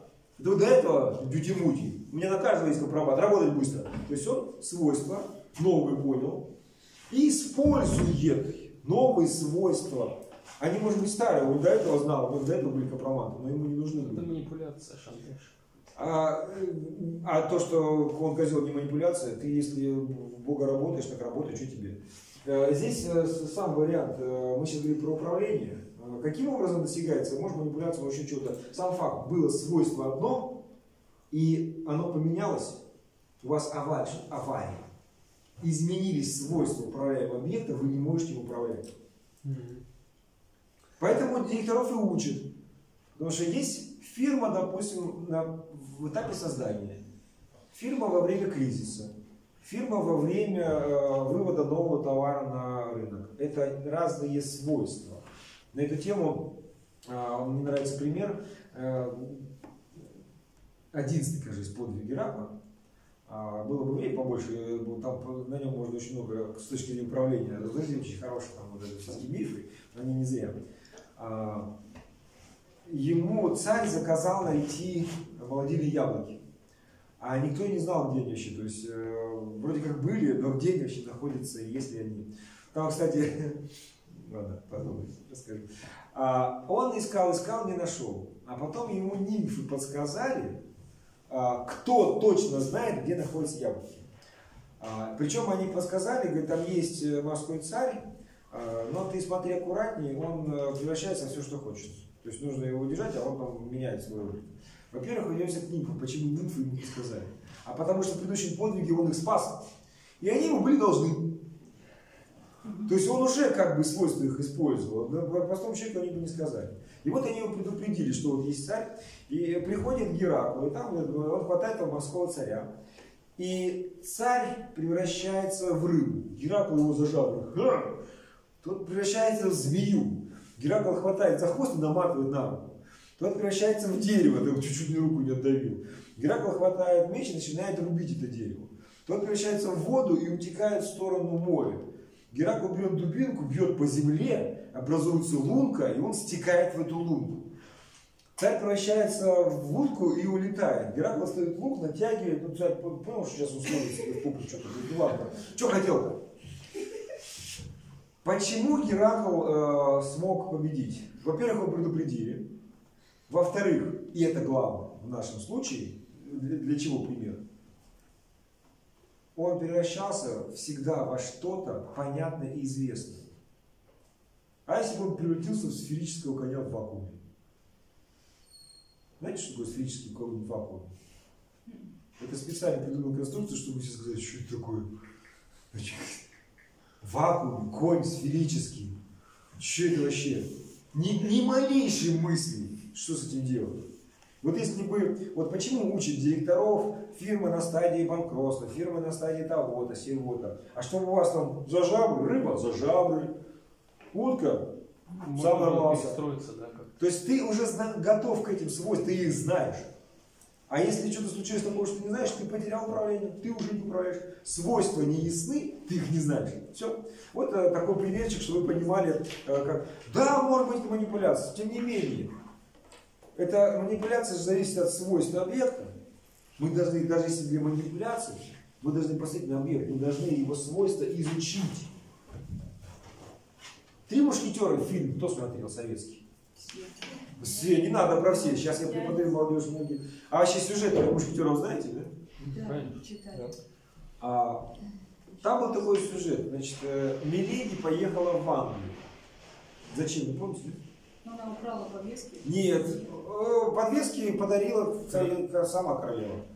И украл-то украл их как раз Д'Артаньян. Зачем поехала в Англию? Герцогу помочь. Ей нужно было убить герцога Бекингемского. То есть у нее была задача убить герцога Бекингемского. Ее в, в Англии тут же поймали. Да, Как бы француженка, ее, это для нас и китайцы на лицо, да, у них все русские на лицо. То есть англичане ясно попалили француженку. Потом, извините, э, баба на коне со шпагой. Ну, чтобы вы понимали, э, вот иметь своего коня, шпагу и прочее, это как сейчас ехать на Мерседесе с калашом. Там, э, незаметно такой, что выдавал им русскую разведчика. Ну, как бы все женщины были на кухне, ну, какие-то эти фартуки. Ее, естественно, поймали. И вот ее охраняет э, какой-то там этот мужик. Что она делает? изучает свойства. Значит, что такое, там, помните, была война католиков с гугенотами, то есть это описывает ситуацию, это было время, когда били католики протестанты. Значит, она, католичка, она только что от кардинала получила конкретное задание. Она видит, что он протестант, причем протестант-фанат. То есть она его свойства уже поняла. То есть, а, но ей нужно немножко допилить. То есть это человек, который протестант, ее охраняет. И она начинает говорить, слушай, Плюш, я просто так, что ли, приехала сюда? Я же с Франции сбежала, потому что я не католичка, я, я ваша по вере. Где, знаешь, сколько пострадала? У меня даже и показывают клеймо. А это клеймо, вот это, которое было, это, ну, долго рассказывать, но это в натуре очень крутое наказание. Это там казнь такая очень долгая и мучительная, по большому счету. Она говорит, вот, мне поставили клеймо за то, что я, и вообще, на самом деле, это козел здесь в Англии. Кто, как, то есть как это в Англии, протестантской нашей американской Англии, кто-то, кто тебя наказал за это, ну там, она вот драконит. И он такой, скажи мне имя, сестра. Она начинает его драконить дальше, то есть она доводит его свойства, то есть есть свойства, она их оценила и доводит до нужной кондиции. Она такая, ну, это страшный человек, я не могу тебе сказать, он, знаешь, он такой сильный, типа тебе это погубит, он такой, там, кто, такой, знаешь, крупный кадр, значит, такой, знаешь, мужик, у него такие выпученные глаза, такая пена, имя, сестра, скажи его имя. И она такая, как бы, такая, герцог Бекингемский, он такой, значит, он убегает, оставляет открытый, значит, он, он ее выпускает. Она спокойно садится на корабль, уплывает обратно, и Париж догоняет ее новость, что какой-то религиозный фанатик убил герцога Бекингемского. Вот есть, вот, вот чем отличается управление от действия? Если бы это был не управленец, она бы там, не знаю, прилепила бы усы, что закинулась бы какого-то пацана, приехала бы в Англию, пробралась бы к, к этому Бекингемскому дворцу, сидела бы на деле, суток пять смотрела, что вычисляла по времени, где какой ходит это, узнала, что раз в неделю по воскресеньям ходит в этот туалет, залезла бы в уборную, скопьешь два, пока оно штаны снить, чтобы его проткнуть. А как еще убьешь герцога Бекингемского? А можно управлять. Можно посмотреть на свойства человека их вот подключить. А Д'Артаньян что еще поехал в Англию? Почему Д'Артаньян поехал в Англию? Чтобы подвеску. По просьбе, да, вы попросите меня пройти в Англию сейчас. Поезжай сейчас на Украину, залезь в офис Зеленского и забери там Томас. Ну что, миссионеры, кто сегодня? Так там что было? Приезжает, значит, он. Как там в песне поется? Вся жизнь прошла с собой, пора заняться. Да сколько же вам лет, дитя мое? Много, сударь, много. 18. 18-летний придурок из провинции приехал покорять Париж. А, дайте тебе приключения. То есть уже свойства, то есть уже ты видишь, кто это. И Констан, Констанция, извините, старшего почти два раза, замужняя женщина.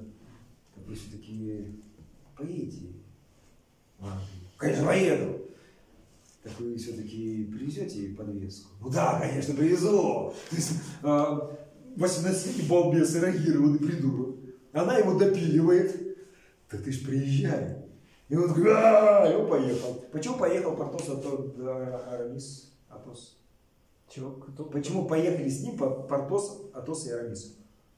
Ну, наверное, Они понимали, что сам-то не, там, не сможет, Ну, как уже- друзья, А, и что он с этими эмоциями не, не сможет. Там все друзья, но да, примерно Ну, там попытаюсь. да, что... Главное, эмоции не Нет, сможет оно нет, регулировать. не эмоции. И опыта нет. Мы должны, понимаете, чтобы управлять, мы должны точно оценить свойства объекта. И немножко было по-другому. Он то, что ДТН придурок, они прекрасно понимают. Они дураки. Они до этого дали клятву. А, что типа всегда... Их свойства, они уже были под клятвой. И поэтому я ничего не знаю, вы сами поклялись. Поехали. То есть, э, когда мы э, свойства объекта знаем, но мы не должны их придумывать. Управление заключается, вот почему это вот именно вот, э, здравомыслие в полном смысле, что мы только можем придумать. Вы можете управлять, если вы правильно вычислите. Потому что если вы неправильно вычислите свойства, то вы, извините, ошибетесь. Потому что тот э, религиозный фанатик мог наоборот быть э, таким же шпионом католической церкви, аж ты сама, там, ты, значит, приехала, ты предала нашу веру, еще приехала сюда. То есть, э, и, а, а он мог быть и таким. То есть она правильно, она была на грани. Если бы она неправильно оценила свойства этого мужика, она- ей прилетело, может, даже побольше. То есть, получается, задача управления – это очень внимательно изучать свойства. Потому что то, что кот залез э, в кастрюлю, это должна быть некая готовность. Это как бы а, что-то такое. О, а, о, то есть интерес практически детский такой. Потому что есть э, вот э, такая фишка, а, у меня один ученик, э, есть такой известный педагог-философ Аманашвили, да, он такая педагогика без насилия, и он говорит, самый большой наси- насилие над человеком, сказать, я знаю тебя, как свои пять пальцев. Что ты знаешь, вообще другой человек. Не надо вешать ярлыки. А, Ярлык – это а, человеческая способность, опять-таки, что было легко там, для ума. Вот я говорю про модели, типа там классовая борьба. Человеческий мозг мыслит моделями. Ему даешь какую-то модель, этим можно делать. Вот Типа что-то, что-то там это плавает, ну, что там это плавает, что такое. А, лодка, точно, да, можно как на лодке поплавать. То есть он какой-то шаблон взял и использует, хотя это не лодка, это может быть другая субстанция плавает. Но а, ну, упрощать и вешать ярлыки, это такая вот модель для выживания, тебе проще.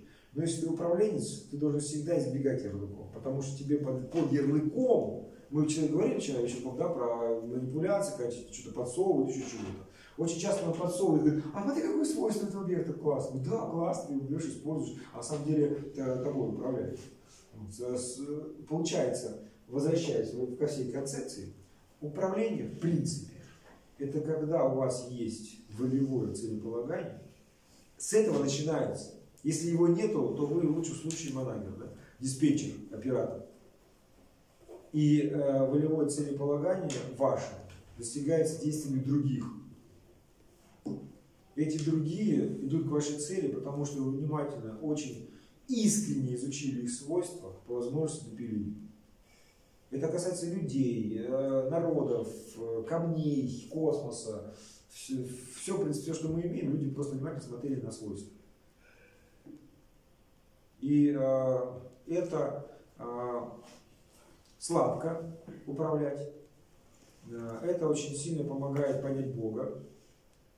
И э, это, возможно, даже как инструмент миссионерства. Потому что когда мы начинаем, мы возбудили, что надо управлять, такие, а как, чего, и мы тогда всегда можем сказать, что ведь воля – это и есть дар Бога. Когда спрашивают, значит, что такое по подобию и образу нашему. А, кстати, вот, классно. Я же на самом деле э, вчера забыл э, сказать правду. А, почему миссионерство и проект одно и то же? В Бытие сказано, создадим, то есть э, есть начало проекта, когда еще будущего нет. И вот э, решают, создадим э, человека по образу и подобию нашему, да, то есть мысль. То есть здесь в конце образ и подобие. А что потом случилось? Падение.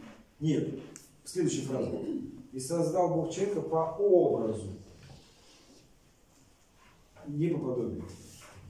И получается, что в процессе своей жизни, вот этого проекта, человек станет по образу и по подобию. То есть э, проектная задача заложена в самой, в самом бытие. То есть Бог говорит, скоро будет этот по образу и подобию нашему. Поэтому на тебе образ и иди приобретай подобие. В конце проекта ты обретешь это подобие. То есть э, в нас заложена проектная задача изначально. Поэтому и ми- миссионер всегда должен мыслить проектно, потому что мы внутри проекта. Если ты приходишь, видишь неубранный дом, если ты знаешь, что внутри проекта ремонта квартиры, то это хорошо, что он не убранный, значит тут уже пошел процесс.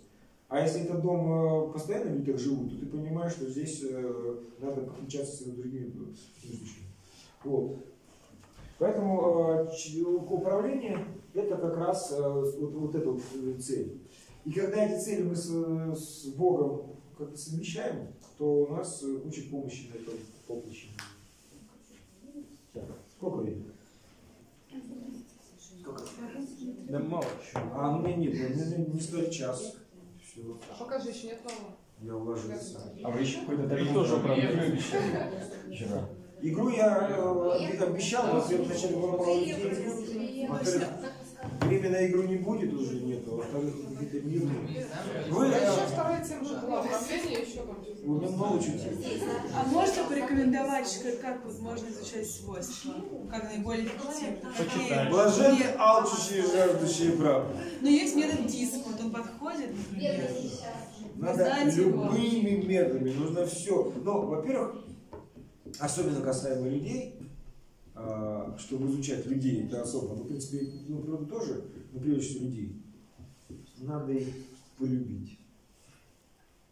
Особенно, когда вы потом их используете, собираете их использовать, а, если изучать с ненавистью и использовать с ненавистью, это будет как бы совсем тема сатанинская. Если вы подходите к управлению миром, вы понимаете, что мир Божий, а, люди – это часть проекта. Вот, э, если вы изучаете, то нужно изначально изучать из позиции, что вы любите их. И понимать, как Бог любит, да, человека. Ну, как бы э, в процессе именно вот этих познаний и управления вы поймете многое, как, как Бог. Вот мне- Я говорю, что когда я тренинги проводил, я больше стал понимать Бога, потому что мне нужно во время тренинга человека поместить в какие-то условия, в результате которых он проявит себя, увидит и поймет. Либо обрадуется, либо будет с этим работать. Так вот, пока в условия человека не поместить, он себя не проявит. Вот э, почему вот в монастырях э, мало спят и плохо едят. Когда человек хорошо, пожалуй, выспался, э, ему лень. И он может быть, конечно, злой, может быть, конечно, сволочь, но как-то хорошо, да ладно. А э, из-за этого мы не проявили свою злость. Мы не узнали, что мы злые. Мы не узнали, что у нас есть страсть такая, и мы в ней не покаялись. А когда ты не выспался, когда ты голодный, ты становишься раздражительным, ты всю свою злость покажешь.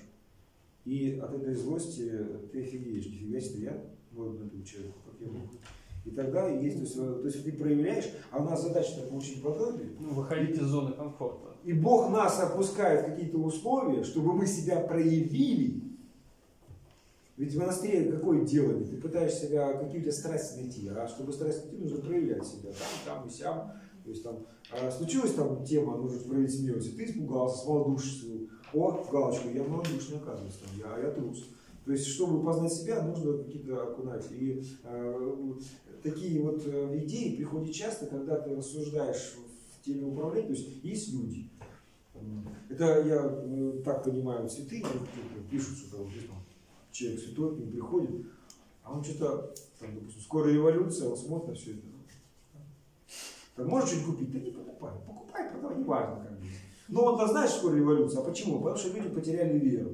А как вот сказать, ребята, ну а он потерял, он приходит уже, он не верит. И- Да ладно. И ты вот когда вот э, всю эту концепцию понимаешь, что ты, ты свойства людей познал, и ты вот смотришь, ну, вот свойства людей, вот, э, допустим, приходит человек к врачу, и э, врач посмотрел, говорит, батенька, у вас там, не знаю, ОРЗ какой-нибудь. И человеку полезно сказать, что у него ОРЗ, чтобы он принял соответствующие меры, чтобы выздороветь. А когда к э, психотерапевту приходит псих, у него шизофрения, врач не может сказать, что у тебя шизофрения. Потому что шизофреник, получив эти знания, скажет, сам ты шизофреник, это нормально. И он, наоборот, закроется, и его болезнь усилится. Поэтому шизофренику нельзя говорить, что он шизофреник. Потому что свойства шизофреника такие. Если ему скажут, что он шизофреник, и вот приходит человек такой, э, со священником разговаривает, он что-то рассказывает, я понимаю, какой у диагноз. Но я же не могу сказать прямо. Он говорит, ну, они что ли Евангелие почитали, значит, со стоит. С чего-то, потому что э, того же самого шизофреника, его же вот пришел шизофреник, психотерапевт. Тут говорит, вы хороши, вы классно выглядите. Давайте вот полежите на кушетку, смотрите, какой классный синий цвет. Он так успокаивает, что такой дерганый уже, если не что, слушай, у тебя, короче, агрессия, возбуждение, тебе нужно, я агрессивный, я возбужден, ты себя где вообще? И тут то же самое, вот, когда мы говорим про свойства управления, если вы видите, что человек шизофреник, и вы не можете ему сказать, то вы начинаете искать, а, а на, что, на что он реагирует, как с ним правильно повести. Поэтому изучение свойств вот объекта, оно всегда поможет. И всегда с любовью, потому что иначе вы наведите всех. Ну, Флан, вот вопросы, как бы такая ремарочка даже параллельно. То есть, э, вот я стал, я понимаю, о чем вы говорите, а вот, то есть, э, если человек не воспринимает, да, то, значит, нельзя прямо говорить. Ну, это... Сво- его такие свойства да, такие. Да, да, да. Но дело в том, что вот это даже не шизофрения, ну, шизофреник это хороший пример, но это слишком вот прям вот такой вот гру- грубый, да. Но вот взять просто обычный эгоизм, самолюбие, и когда ты человеку в лицо ты скажешь это, он тоже, да ты что, ты сам дурак, ты сам Но, такой. а- То есть здесь даже вот просто у нас природа уже такая, ну, на мой взгляд, она настолько уже испорчена, Да, Давайте что я- мы- я вам расскажу пример, просто я вам рекомендую, э, мне очень сильно, там, я занимался продажами, у меня там свои фирмы были, и, естественно, я изучал продажи, А, очень рекомендую посмотреть эту область, потому что инструменты продажи вам могут пригодиться. Что такое продажа? А, Задача продавца, в принципе, похожа с вашей задачей. Значит, а, Извините, а может пойдем на улицу, у нас тепло? Давайте без улицы, я уже- Давайте закончим. Пола- половина, поте- половина потеряется. Половина потеряется точно. Смотрите, Давайте здесь. приходит, приход- приходит, сейчас человек, а, приходит человек, а, а продажи это же то, что там, а, купишь, а ему давай быстренько, чтобы он пока не отравился, убегаешь. Надо Имеется-. Имеется в виду бизнес to бизнес, когда ты B2B работаешь, вот приходит человек, ты ему рассказываешь, ты, может быть, его и надурил, но он потом приходит и начальнику показывает, вот такие цены, такие условия, начальник такой, слушай, да он тебя дурит. То есть э, центр принятия решения нет. Ты должен как-то повлиять на этого человека, чтобы тот повлиял на того человека. У тебя задача немножко другие. Вот, что такое продажа? Приходит человек. На самом деле у него в голове некая проблема. Потому что если бы у него не было проблемы, он в магазин не пришел. То есть мне нужно купить поесть. А я, я голоден. А что, я могу разные вещи съесть. Но может таблет, таблетку от э, ощущения голода мне можно предложить. То есть у него есть какая-то проблема, там вот, э, допустим, я пришел купить кипятильник для стационарного, там, газовый котел. Почему? Ну вот газовые котлы и прочее. А у тебя газ есть? Здесь газ есть? Человек хочет, чтобы тепло было. Он слышал, что может газовый котел. А он пока даже не понял, что был газовый котел, он уже что газопровод провести электричество. То есть у него, у него проблема, он согреться хочет, он уже прозяк. А ты специалист, ты уже видишь, что там, а, а какая у вас нагрузка, а сколько у вас зданий, а какая сюда проведена мощность лэп и прочие вещи. У тебя вопросы. И э, ты увидел проблему, и ты понимаешь, что у нее не такая проблема. У нее на самом деле проблема вот такая. То есть ты уже понял о чем. У тебя решение есть. Но надо так, чтобы это решение, ты говоришь, он говорит, он мне вот это. Ты говоришь, нет, а вот это. Говорит, как, это же круг. Нет, треугольник тебе нужен.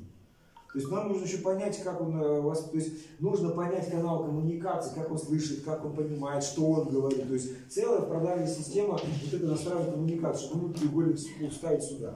И э, пару при- примеров. Значит, э, я, допустим, работаю продавцом в салоне телевизоров. Вот наш экспонат.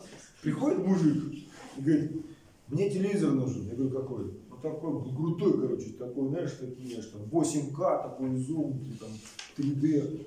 И Я, мы, то есть он мне проблему не было, мне нужен телевизор крутой. Я говорю, а куда будете ставить, что почем, чтобы разбирать? И выясняется, что он, конечно, крутой, деньги есть, но живет в квартире вместе с тещей. Теща почти все время на кухне, ей нужен телевизор. А я понимаю, что там, э, ну, который 8К, вот, вот такая панель, в два раза больше этой. А кухня, она сама размером чуть больше вот этого вот приступа.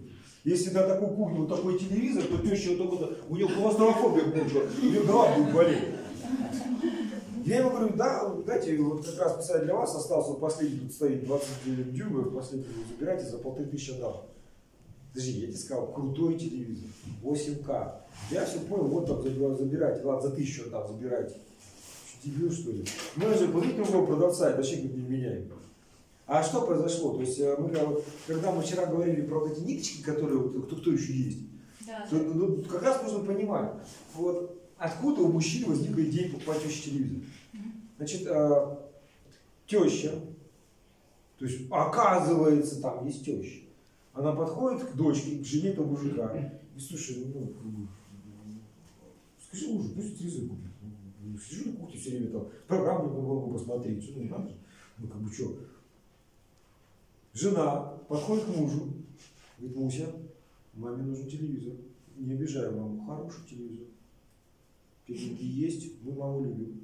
Что такое хороший телевизор для мужика? Вот вы там покупаешь аппаратуру там от 5 Гц до 22 кГц. Да ты больше 16 кГц не услышишь. Зачем тебе 22? Нет. Пусть будет 22 кГц уже. То есть для мужика аппаратура это как оружие. Там, о, какой там клинок, там, какой там. Тебе что, ты капусту режешь, ничего больше не поймешь нормально. Нет, саблю хочу, шашку. То есть это на- свойства тещи, жены. И, то есть э, теща хочет телевизор, но не хочет как бы конфликт носить и говорит, «Э, что, доченька, поговори. Доченька нормальный дипломат, говорит, ну слушай, ну надо, мы маму, маму любим. Что ты? А он приходит, да мне 8К, ну, мне это. Он искренне хочет. Я говорю, слушай, мужик, ты дебил, тебе нужен... Да это ты сам дебил. мне- Ну, на самом деле, разговор с самым шизофреником. Ну, нельзя сказать, что... Он как я принесу это за тысячу, несколько мне плюнут в лицо, ты что, за тысячу рублей тебе денег что жалко? Мне не жалко денег. Дай мне нормальный аппарат. Что мы делаем? Мы говорим, слушай, мужик, скоро 7 марта, для девчонок скидки будут, приходи с женой. А жене уже говорит, слушай, ну, может, вы хотите. То есть, получается, вот это вот раскручивать, раскрывать мы даже сами. Потому что пришел мужик, нет мужика, есть мужик с семьей. И там появляется куча-куча всего остального. Или такой пример, значит, а, магазин находится на первом этаже, проходной такой, то есть двор, ты за- заходишь, магазин занимается продажей рыболовных снастей и туристического снаряжения. Продавец мудрый старый гей. Забегает какой-то парень такой, какой-то такой, такой замученный какой-то такой, нежный, говорит, слушайте, иди в ближайшую аптеку. Молодой человек. А зачем вам такой аптека? Да, ну, блин, ну, это ж- Таблетки какой нужно купить? Молодой человек. А, утро, клиентов нету, там времени полно. Я смотрю, вы уставший. Давайте по-честному. У него же не голова болит, у него же месячный начались. Да, и что? Ну, ну и потом, как болит голова, говорит, купи голову. Да. Я смотрю, вообще возбуждены. Ну, давайте по-честному еще раз. Ну, головными таблетками это не лечится. Ну, а что лечится? Это лечится временем. Вот ты, а, все будет хорошо. Такой, Я смотрю, вы три дня не выдержите. Ну, смотрите, сейчас как раз вот выходной праздник, там, 7 ноября, 4 там выходной. Приезжайте на рыбалку. О, точно. Петя, а вы едете на рыбалку? Да? А, слушай, место есть? Слушай, давай сегодня пойдем. Да, все, заметно такой, такой, спасибо, такой, походите, молодой человек. Вы что, будете у них удочки забирать? Вот хорошие снасти, пожалуйста, удочки. Он покупает снасти домой такой. Ну, знаете, я, я же не просто продаю снасти, я сам рыбак. Знаете, нормальная рыба не, не, не берега, она там.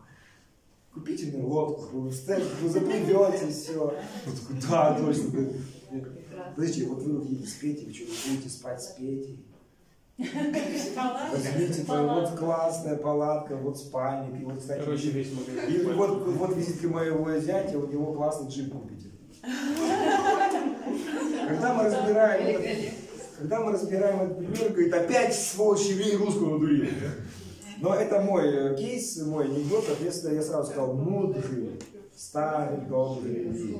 Знаете, в чем дело? Он увидел эту проблему в голове у человека и, а, и решил, и решил, это добрый еврей. Он, он сам когда-то поссорился с женой, сам развелся, теперь как дурак начал детей нянчить, стоит в долбанном магазине. Он себя увидел, он решил помочь. Но понимаете, в чем дело? А, он решил проблему имеющимися у него инструментами. По-хорошему, э, человек мог бы, психоаналитик его пригласил бы в кабинет, положил бы там, он что-то напил, и все бы, не надо было тратить столько денег. Он бы объяснил, как вести себя с этой женщиной, и все бы получилось нормально. Но у него нет кабинета. Во-первых, там приходишь, говорит, где аптека? Походите ко мне. Вы хотите об этом поговорить? А чем поговорить? Ты что? Ну я психолог, психоаналитик. Сам ты псих. Вот и говори сам с собой. То есть, ну, приехал, пришел человек, у него, э, ну, его можно было бы у психоаналитика в кабинете вылечить. Но, во-первых, еврей не имеет кабинета, он тут еле-еле все это расставил. А во-вторых, человек бы не принял эту информацию. То есть, на самом деле, еврей действительно решил проблему. Более того, хорошо стало всем. И тому Пете, который уехал. То есть, он решил проблему, учитывая всех. И здесь, ну, приехала еще, да? Вот, Не, пока нет еще. развивая тему, а, это как раз вот к вопросу, как вот, э, вот эти вот с- ви- ви- эти резиночки искать, что- откуда они появляются. А, Стандартная, значит, тема у нас волонтерство. Волонтеры, давайте волонтеры, давайте еще прочее. Значит, э, это реальный случай, РГСУ. Я работаю преподавателем в РГСУ, я тогда работал. Значит, поднимаюсь и висит объявление. Значит, ближе к Новому году, э, сессия скоро кончится. А, Волонтерский центр РГСУ. Значит, есть детский дом, там дети, у них нету а, праздника, у них нету тепла. Давайте устроим праздник, и подарим тепло наших сердец. Это будет выражаться в сборе мягких игрушек, сбор мягких игрушек в таком-то кабинете, такой-то по такой. То есть есть реальный волонтерский проект. Вот если а, посмотреть, вот, что там происходит. Во-первых, а, волонтеры, а, по идее, должны принести игрушки. Но откуда у студента игрушки взять? То есть он либо давно их выкинул, либо это какая-то там 20-летняя мартышка уже вся в дырках, и там девочка там, за- а, моя мартышка, то есть она же не отдаст эту мартышку. То есть получается, игрушки должны быть новые. То есть есть некие волонтеры, которые должны добыть игрушки. Это игрушка, это чебурашка. Вот. А, а их нет этих игрушек, потому что у студентов нет игрушек нормально. Значит, какая проблема? Надо их купить. Студентов нет денег. Соответственно, нужно найти какого-то денежного кошелька. То есть у нас появляется вот это вот, э, есть такая фигня, называется стейкхолдер. Нас спрашивают, а как по-русски мы ну, стейкхолдеры придумали позиции. То есть есть некая позиция волонтер, есть позиция человека с деньгами. То есть нужно обратиться к этому человеку. Во-первых, нужен, получается, это волонтер, который умеет ну, фантазию фактически. Говорит, ребята, вот вы такие богатые, там дети плачут, такое. А нам что? А мы про вас расскажем средства массовой информации. Но у вас-то нет средств массовой информации. То есть, получается, вам нужно говорить с этими, чтобы они сказали про этих, которые дают деньги сюда, которые... То есть, получается, вот, вот появляется еще одна штучка. Когда у вас средства массовой информации вы уже ответили? Ребят, можно перебить? Это мне как сказал Лука, что сделать перерыв пятиминутный, проветрить здесь, и придет новый спикер. Мне сказал Лука так. А она уже приехала? Ну, надо Ну, он так сказал, его вот вам воды, если кому я Ну, забрала. давайте я быстро это И вот, и вот потеряшки. Разбирайте. Вот. Сейчас быстро пойду. Смотрите, допустим, они получили эти игрушки. Но нужно эти игрушки подарить красивые, ведь важный праздник. А если я хороший фандрайзер, я хорошо болтаю, но я боюсь детей. Поэтому нужен волонтер, который спряшет для этого сегодня. Но эти игрушки нужно доставить. Значит, нужен волонтер, который все это привезет. То есть, оказывается, появляется куча вещей. Значит, э, дети, а потом еще есть, значит, собственно говоря, есть дети. Но это не просто дети, право свойства, это сироты. Есть администрация. Вы не сможете прийти, деньги все ко мне. Там завод двухметровый, короче, проволока. Нужно договориться с администрацией. Вот. А э, еще вопрос. Это же э, детский дом государственный. На самом деле здесь есть государство. И государство и администрация немножко разные вещи. И вот когда мы все такие штучки находим, вот мы должны выковырить всех участников. Потом мы э, выбираем, у кого какие проблемы. То есть мы у всех. После того, как мы э, вот, свойства, мы э, думаем, какие у них проблемы. Когда мы э, выбрали, поняли, написали список проблем, мы отмечаем, какие из этих проблем мы своим проектом решаем. Вот обычно пишут, вот дети сироты, что у них нет? У них нету праздника, у них нету там счастья и прочее. Мы решаем, у них нету игрушек, у администрации нету денег игрушек. И мы, получается, привозим игрушки, делаем праздник, и, э, и администрация как бы экономит денег. У них все хорошо, классно. Но на следующем этапе мы ставим, э, а какие проблемы мы создаем. А проблемы мы создаем как минимум такие. Мы собираем мягкие игрушки. А по санпину мягкие игрушки в этих э, учреждениях нельзя использовать, потому что их нельзя обрабатывать. Ги- Гигиенически их не поможешь. То есть, а, получается, вы приезжаете с мягкими игрушками, а у нее проблема. Если вас послать нафиг, вы обидитесь, у нас же государственная программа, развитие волонтерства, вы приехали, я сейчас скажу, пошли вон, вы обидитесь, не станете волонтером дальше. Я же ответственный человек. Но с другой стороны, я не могу оставить эти игрушки, потому что меня просто потом уволят. Я нарушаю санпин, извините меня. Это, это, это очень серьезное нарушение, я просто потеряю должность. Поэтому я, ладно, разрешаю, вы делаете праздник, вы дарите этим игрушки, и как только вы уехали, я у детей забираю эти игрушки, но не так все плохо, я говорю, еще, еще не хуже. И выбрасываю. То есть, на самом деле, вы проблему не решаете, а создаете проблему.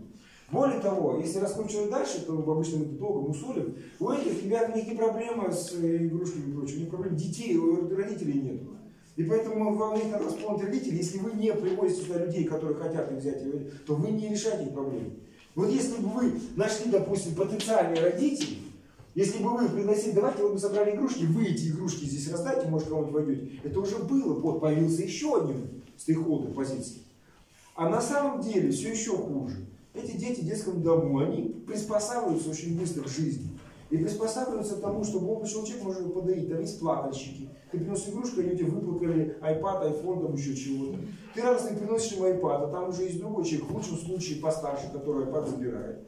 А вообще-то в нормальном случае директор этого же заведения. Директор денег у них полно.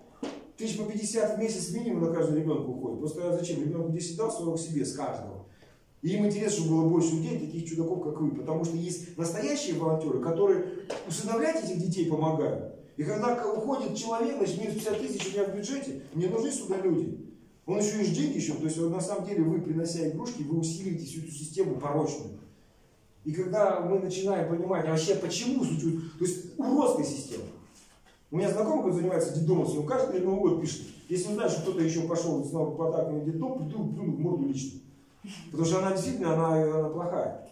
А почему она появилась? А потому что я поднимаюсь и висит объявление.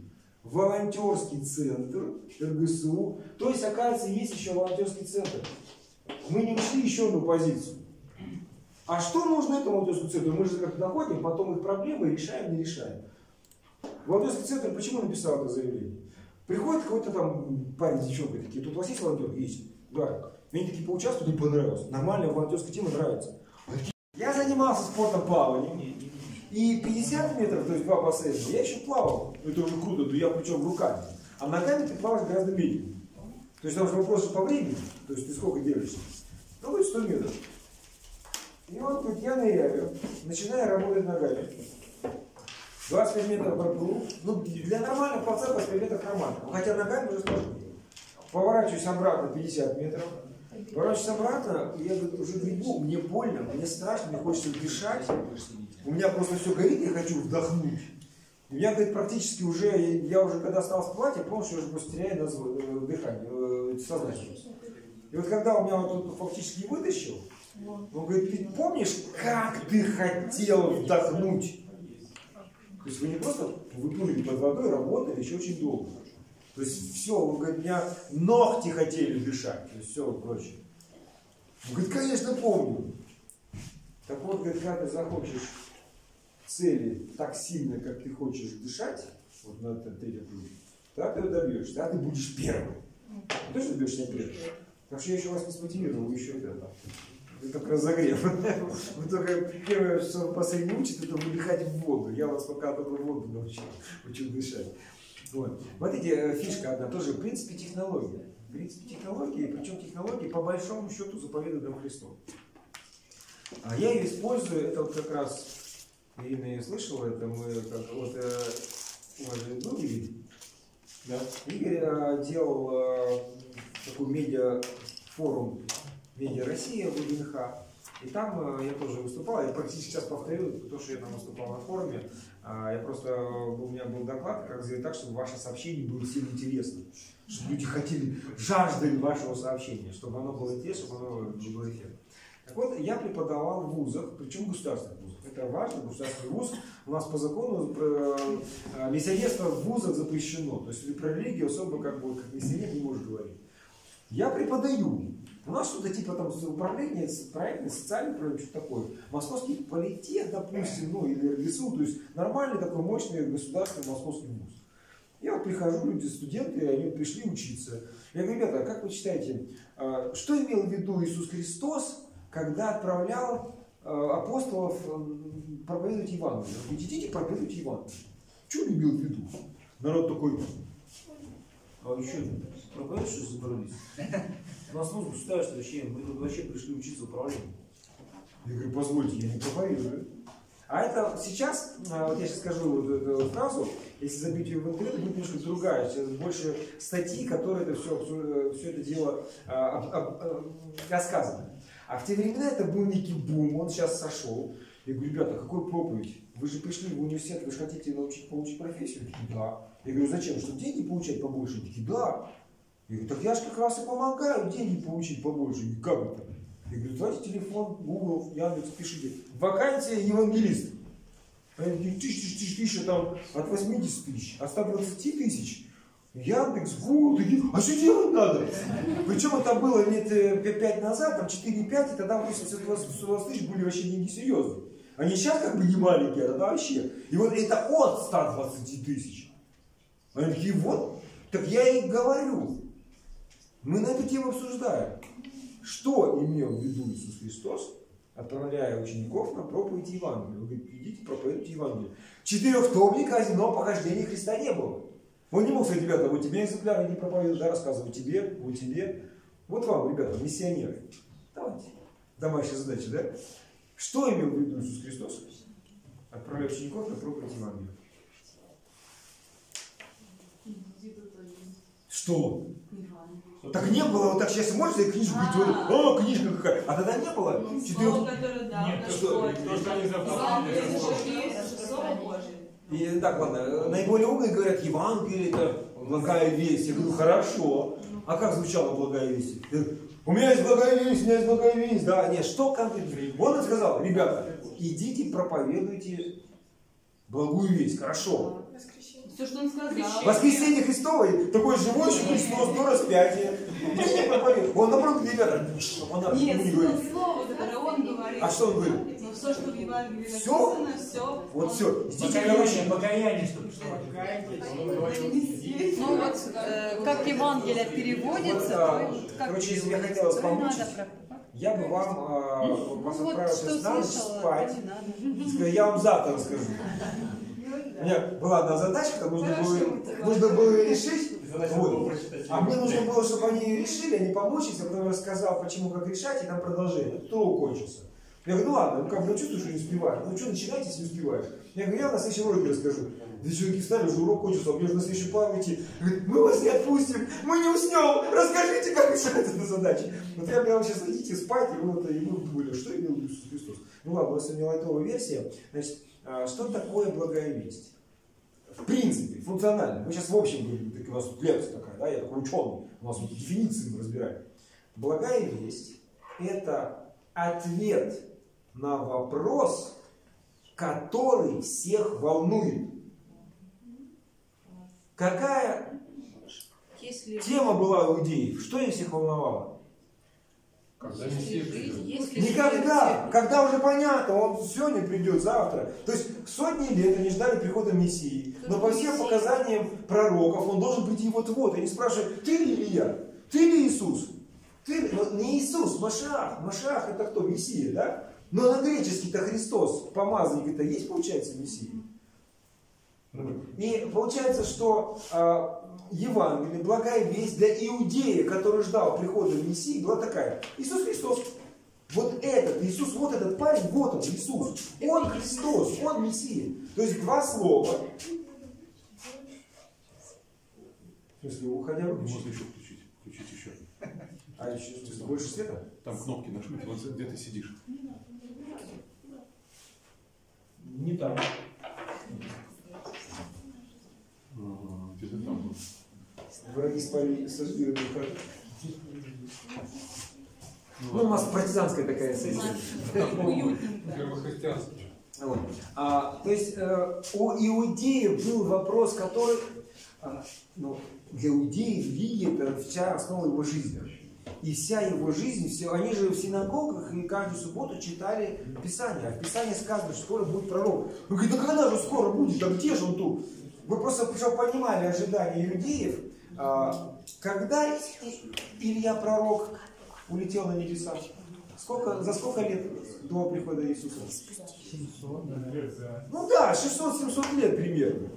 Так вот, вот как у нас еще первые христиане ждали конец света, и мы вот, вот завтра все будет плохо, да? То же самое иудеи ждали, а, у них была традиция, они когда дома кушали, они один оставляли столовый прибор и э, на столе, вдруг Илья придет.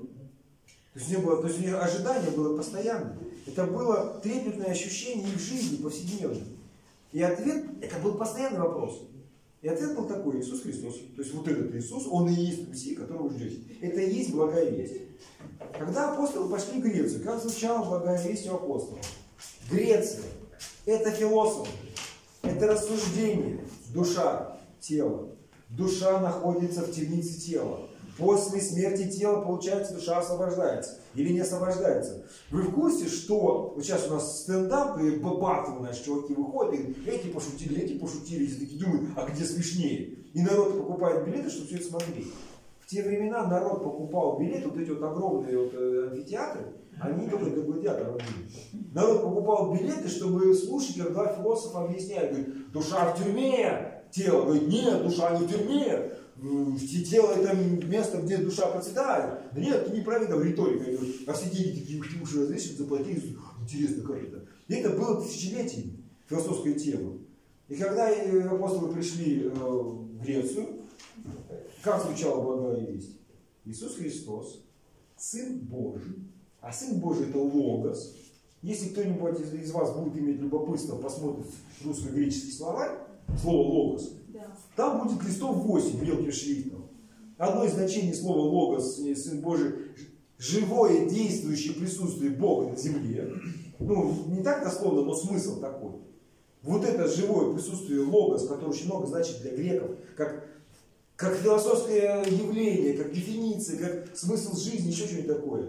Иисус Христос, чувак, Иисус Христос, логос, он родился о, уже прикольно. Сын, то есть это Логос родился, почеловечился. От девы, ха, уже хорошо. Умер и воскрес в теле. То есть это вопрос, что вот есть душа, а тело это клетка для души. И после смерти душа освобождается. Он говорит, нет, ребята, Бог-то не захотел освобождаться, значит это не тюрьма. То есть получается фраза Иисус Христос, Сын Божий, умер воскрес, для них уже получается, э, вот у них был вопрос, да что ж такое? Тут тело не тело, душа не душа. Тюрьма не тюрьма. Да объясните уже, тут тысячу лет объяснять. Я же запутался. И тут приходит апостол Павел и объясняет, все-таки классно. То есть это ответ на запрос, который есть. Когда наши чудо-футболисты играли в полуфинале чемпионата Европы, благая весть звучала 1-0 нашу пользу. И ясно. Видите, чувак на машине не радио сломался, такой, ребята, какой счет? 1-0 нашу пользу. А, классно, 1-0 нашу пользу. Но я помню, как у нас там в Подмосковье, когда наши дети что-то там чуть ли не выиграли, вот чемпионате Европы, народ выходил на балкон, стреляли петарды, там что-то гудели. 12 часов ночи я выезжаю в город Троицк, а он весь на ушах. Что такое? Наш 1-0 виноват. То есть 1-0 нашу пользу, благая весть. Нужное время. Благая весть – это ответ на вопрос, который актуален. И если, вот почему эти ребята, вот я такой прихожу, говорю, а ну, вы скажите, что такое Евангелие? Ты что тут проповедуешь? Я говорю, ну откройте. И они такие понимают, у них же какой вопрос? Как заработать деньги? А я им отвечаю на этот вопрос. Вакансии евангелисты такие, ух ты, а чем можешь заработать? 120. И они меня уже слушают вот так. Я им рассказываю про Иисуса Христа. И у никого нет вопросов, что я проповедую. Я в наглую проповедую в государственном вузе. Но им интересно, потому что я отвечаю на вопрос, который у них есть. То есть, если вы поймете, вот, у вас есть возможность людей завлечь, потому что вы отвечаете, если нет вопросов, и поэтому надо почувствовать, то есть а, у вас есть сообщение миру, вы такие, а, сейчас я как раз расскажу, расскажу. Так, вы остановитесь и откатайте. Мое сообщение, а на какой вопрос я хочу ответить? Откатали, сформировали хороший вопрос, интересный вопрос.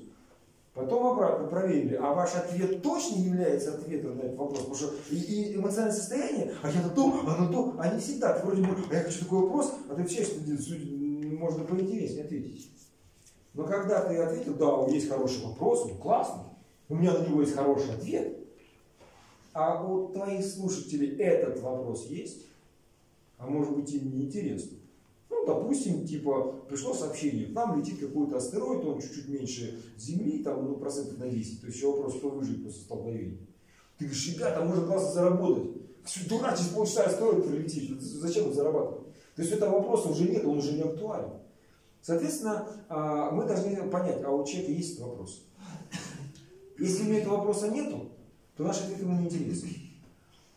И тут такая интересная тема. А, а, а у него какой вопрос? Он говорит, я хочу, там, не знаю, там, найду чуть-чуть место, или хочу, там, я хочу эти бабу, там, короче, там, изнасиловать. Руслан Анатольевич, а давай про колки вопросы есть. Интерактивчик. Нет, здесь все не надо, пускай спят дальше, у нас вечерний такой. А? А, Я, я тому, что у слушателей может быть не, не быть этого вопроса. У вас на него есть ответ. А тот вопрос, который у них есть, он вам не интересен. То есть я, в принципе, могу парню рассказать, я хорошо получить сексуальное удовлетворение. Но я не это хочу рассказать. Меня вообще не... У меня для другой посыл. Но у них этот вопрос. Ну, Вот ну, ну, гормон бьет, сидит 16-летний парень, у него других вопросов нету. А у меня нет ответа на вопрос. Есть, но я не хочу ему говорить. И эта вот ситуация, современная ситуация, она такая. Идет, вот, э, когда вот в Игоре вы э, делали доклад, это э, очень зашло очень хорошо. Сейчас нету конкуренции ответов. Сейчас есть конкуренция вопросов. Мы выходим к людям. Вот раньше был вопрос, раньше все были верующие хоть во что-то. Потому что в псалме сказано, что речи безумные э, не есть Бога. То есть только сумасшедший мог подумать, что Бога нет. А сейчас, по сути, все сумасшедшие. Бога нет в. И те вопросы, которые, допустим, Иисус Христос, которые людей возбуждали, что аж кто, кто, не ты ли Илья, не он ли Иисус? Сейчас вопроса нету, мы не можем сказать, Иисус Христос, скажет, и чё? Соответственно, а, у нас, прежде чем отвечать на вопрос, мы должны его как минимум посеять, чтобы у людей наш ответ был интересен. Вот я, вот, собственно говоря, что ты, я вас замотивировал. Я всего лишь, вот, я, Я жду ответа. Руслан на Анатольевич, что которые такое посеять а вот я сейчас я как раз расскажу, что посеяли. посеять, Смотрите, жил человек, он думал, что все хорошо понимает. И я посеял здесь вопрос. Теперь девчонка хочет узнать, а что ж такое проект на самом деле? Они тебе, они тебе придут, я теперь спать не буду, они будут записывать меня на, на, на- у учителя, записывать мои трактаты, что я там скажу. Потому что у них появился вопрос, и теперь я могу нормально отвечать. Я преподаю в ВУЗе у ребят, которые пришли, ну, как вечерники, это классно, у них уже есть вопрос. А те, которые после школы, они привыкли, им впихивают знания. А им ничего не надо, они такие, вот там, э, меня вечерники не выпускают. Уже 10 часов, ребята, я хочу домой, уже нет детям. Нифига, у тебя классно, э, объясни нам. А у первокурсников после школы вопросов нету. Они такие, ну давай, вешай, вешай нам, что что-то еще раз пораньше. А можно пораньше уйдем? Ребята, вы коммерческие группы, деньги платите, я должен просить вас пощады уйти пораньше. У них нет вопросов. И получается, а, надо, чтобы... вот, у меня есть ответ. Я не хочу. У меня есть ответ, как вот, стать христианином. А, У меня есть ответ там, про Бога, про любовь. Я много чего могу рассказать. Когда у вас есть... Но если у вас нет вопроса, кому буду рассказывать? Соответственно, сперва нужно посеять этот вопрос. А сейчас много вопросов сеют. Где брови красиво сделать? Где компьютер правильный? Где еще чего-то? Э, Человека заполняют вопросами. Нужные вопросы вытесняют из головы человека. И тогда, получается, надо посеять нужный вопрос. Но посеять вы не можете одновременно. Дело в том, что вот, э, как мыслит ребенок маленький. У него вначале, вот, как он читать научится, научается. Он ползает и вот что-то трогает, грызет, там что-то там, это, по ощущениям он что-то воспринимает. У него первое ощущение. Ему даешь кубики, а там твердые, мягкие и прочее. И там буква Б, допустим. И первый кубик мягкий, такой мягкий, что он его там, у него мордой сосет его там прочее, и какая-то фигня нарисована. Он говорит, буква вот. Б какая-то. Второй кубик у него твердый. Его можно взять, погрызть, постучаться в него, и там А нарисовано. И он вместе с ощущениями видит букву А. Потом он как бы вот, познакомился с ней, А, Б, В. И когда набирается набор нескольких букв, тогда не весь алфавит. Он даже не понимает, что существует алфавит. Он не знает, что это конечное количество и прочее. Но когда появилось несколько букв, тогда из них можно составить слово. И вдруг он узнает, что несколько подряд сложенных букв, которых можно было погрызть, пососать, оказывается слово «мама». А мама вон рядышком. Мама, мама, мама. О, Но пока нет вот этих букв, пока он не погрыз, не пососал, он слово «мама» не соберет. Когда появляется набор слов, можно составить предложение. Если вы более-менее оперируете предложениями, в вас будут попадать смыслы. Ребенок, он же ощущения имеет, что все умеет. Он же смыслов не знает. То есть, получается, есть какие-то элементы, которые собираются более крупные. И, значит, вопрос мы тоже можем кидать вот куда-то по буквам.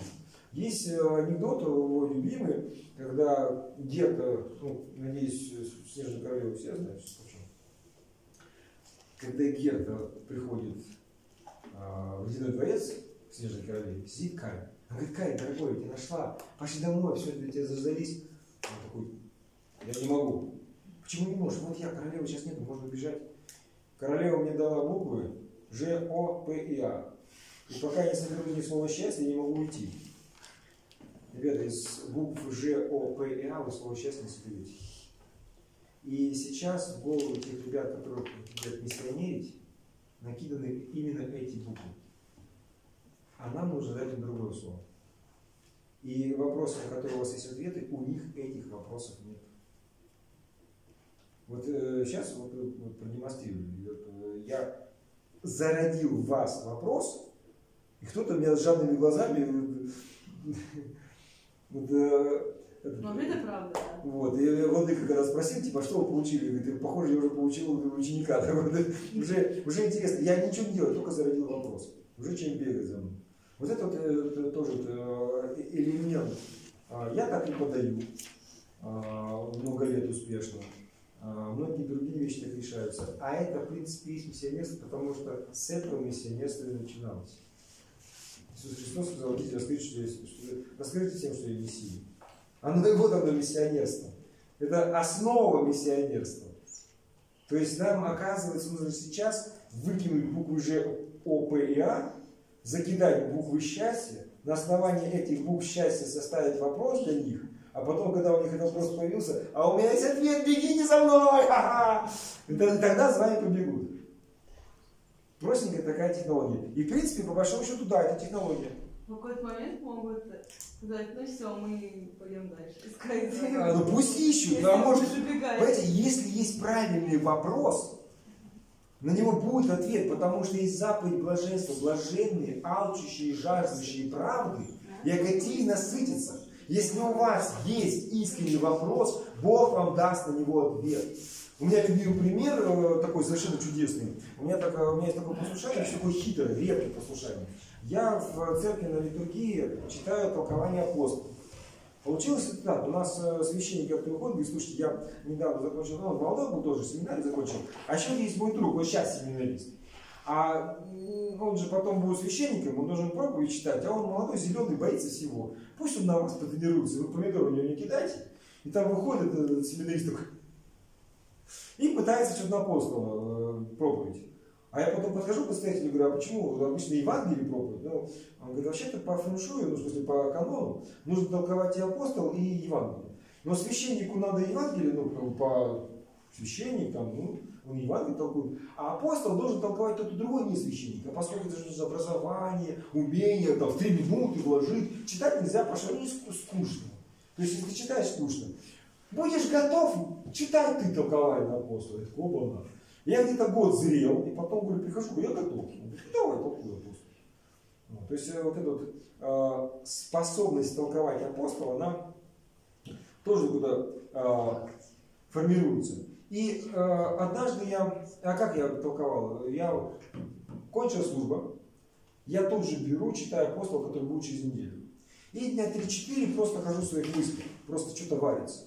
Когда мне что-то заварилось, я тогда уже беру э, толкование, там, Феофан Затворника, еще кого-то уже Талмуд, и оттуда начинаю, потому что с утра надо само повариться. И у меня как-то в одно толкование, вот есть толкование, а есть какое-то явление, оно вроде вообще постороннее.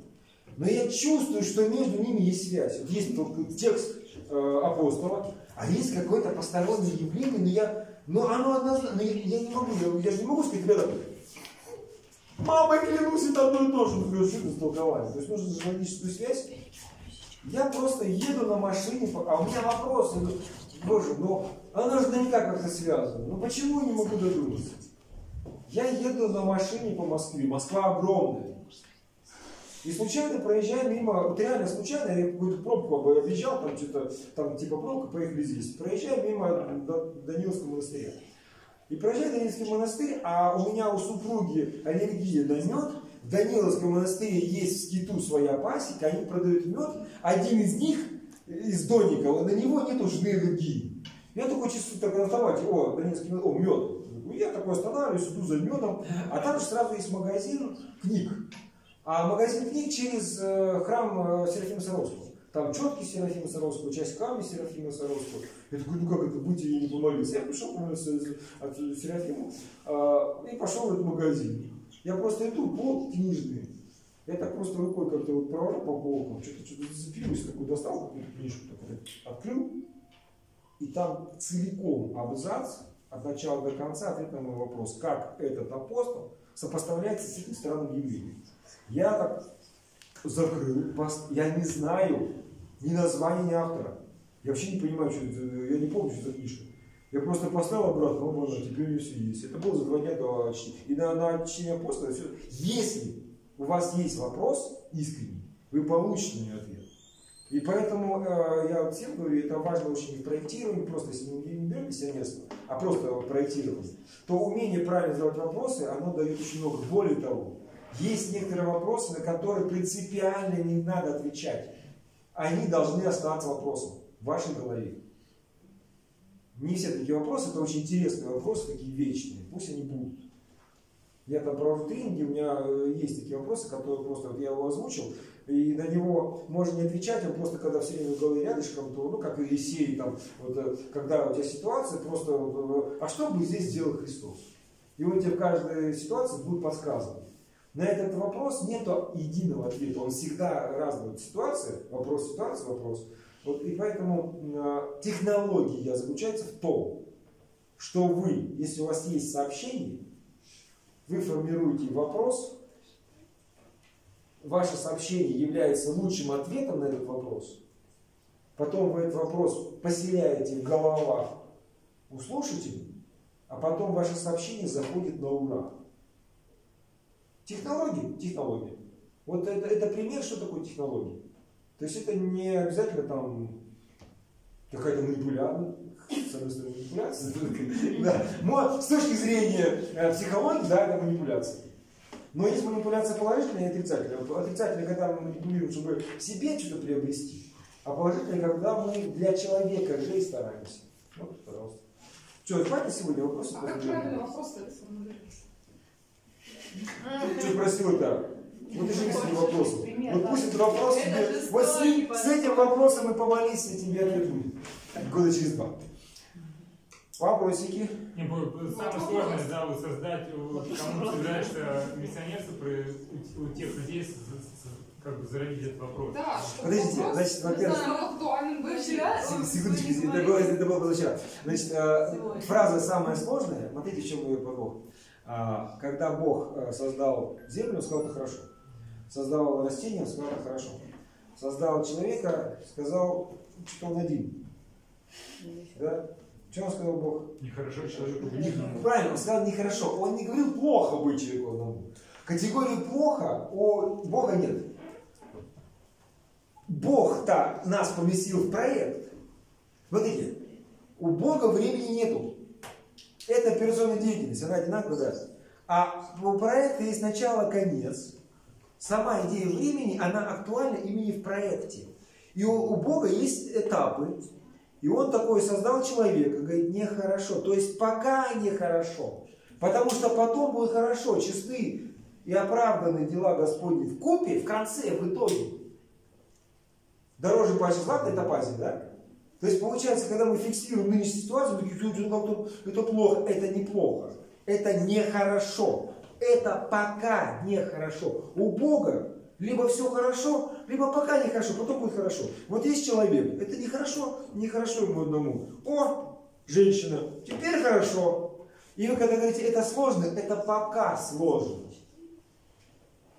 Когда вы их наработаете, то это будет на раз, два, три. Я же тоже, когда я же не сразу уступал, выхожу, такой, да, владыка, да ладно, владыка, давай. Я же тоже был какой-то стеснительный. Я тренировался, я такой садился в машину, там, ходил какое-то радио, где прямой эфир такой. Знаешь, такой, пи-пи. Алло, это радио. Ты дозвонился. Ну ладно, еще раз, знаешь. Алло, это радио, да. Да, это радио.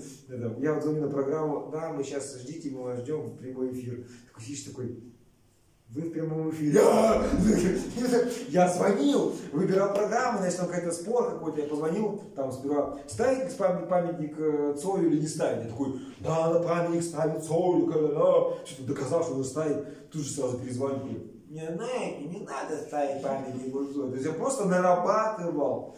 То, это, то есть я вот, вот, э, вот в этом вот сейчас приглашал сюда, вот такие не пока сложно стесняюсь. Э, Вы пока что стесняетесь. Через некоторое время вы не будете стесняться.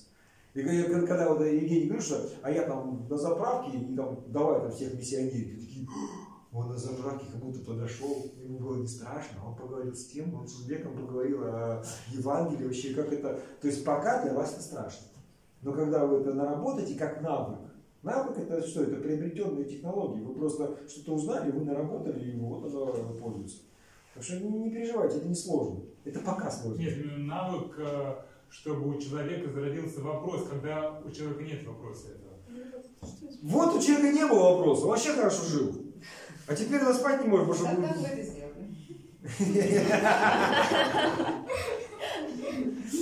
это знаете, как э, э, фишка всего э, инфобизнеса. А-ля-ля, а теперь, значит, для VIP, значит, 50 тысяч у меня занятия. Нет, это можно объяснить, но больше... Это Почему есть, миссионерство? понимаете, есть такой технологии, как развивать память. Скорочтение, там люди за два года проходят там три курса э, университета, и такие, тут классно, можно, я говорю, слушайте, можно, но там нужно трудиться. То есть это не пилюля, тебе нужно что-то сделать. Вот есть слепой десятипальцевый метод, знаете? А, Хорошая, но имейте в виду, если вы, вот вы начали работать за компьютером, и вы такие, надо больше, надо быстрее, то есть если вы просто будете много работать за компьютером, ну вы, может быть, э, запомните буквы, может быть, вы будете чуть быстрее стучать. Но для освоения слепого, именно слепого десятипальца, у меня супруга его слово, говорит, что а, Руслан, там, короче, у меня кипит э, борщ, сварится компот, не, то посахари, то посоли, не перепутай. А в это время реально слепую набивает там такие тонны текста. Почему? Потому что она освоила. А что значит освоить? Это тоже проект. Потому что ты печатаешь на компьютере, как бы, ну, нормально у тебя работа, да? А он такой, нет, я сейчас не печатаю, я осваиваю. И она начинает делать упражнения. И она их делает, делает одно, второе, третье. То есть ты, вот ты проходишь весь комплекс упражнений, ты в это время в проекте ты осваиваешь. Ты не печатаешь какой-то текст, какой-то тебе, а вот быстренько, на, пожалуйста, статью написать. Нет, я сейчас не пишу статью, я именно осваиваю этот метод. И когда она прошла все стадии обучения, когда она закончила обучение, она овладела. Если вы будете просто печатать за компьютером долго, 10 лет, 20, 30 лет, вот я уже 20 лет, я больше, я компьютером стал заниматься еще в начале 90-х, конце 80-х. То есть получается, что я много времени работаю за компьютером, я не умею 10 пальцев лет. Она обучала два месяца, и она им овладела. Тоже проект, и сначала, и конец. То же самое все вот эти навыки. Если, если вы осознанно хотите их э, получить, это тоже нарабатывается вот таким способом. А потом вы пользуетесь. Еще раз говорю, проект была операционная деятельность, а потом по какой-то причине она сломалась. Вы что-то делаете, делаете, получаете инструмент. Пример, чтобы вы понимали, что такое проект и что такое после проекта должно остаться. Есть такая штука, называется продукт проект. Вот есть, допустим, э, решение уравнений с двумя неизвестными.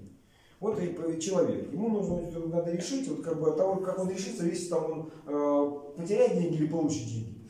И он там думает, как так решить, так, вот как, что. И он и так пробует, и так, и сяк, там что-то вроде бы решил, деньги вроде бы выиграл, убежал. Через некоторое время у другого человека такая же проблема. Он тоже мучился, ну как это решать, вообще, что такое, кипел, там все дела забросил, волосы выдирал, решил. А потом приходит дядька Гаусс. Он не просто решил, описал, сделал инструкцию. И мы в школе ее изучаем. Ученики, здравствуйте, я учитель математики, мы проходим с вами решение двух неизвестных методов Гаусса, записываем. Он уже есть. То есть есть метод Гаусса, у него есть имя Гаусс, метод, то есть уже все. И нам его просто обучают, и мы спокойно используем. Вот, предположим, у меня болит спина. Я такой что-то как-то мучился, ходил, измерял, что-то что светил, еще что-то. И оказалось, что какое-то заболевание, можно сделать какой-то массаж.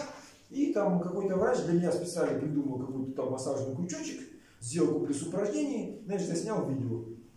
И теперь А, Я могу уйти, врач может уйти, ну лежит какая-то ковырялка, инструкция и видео урок. И любой теперь приходит, смотрит урок, читает инструкцию и ковыряет себе. То есть первое там, с- э, симптомы такие, такие, такие. Ага, такие, тогда вам сюда. И ты дальше. У тебя все прописано.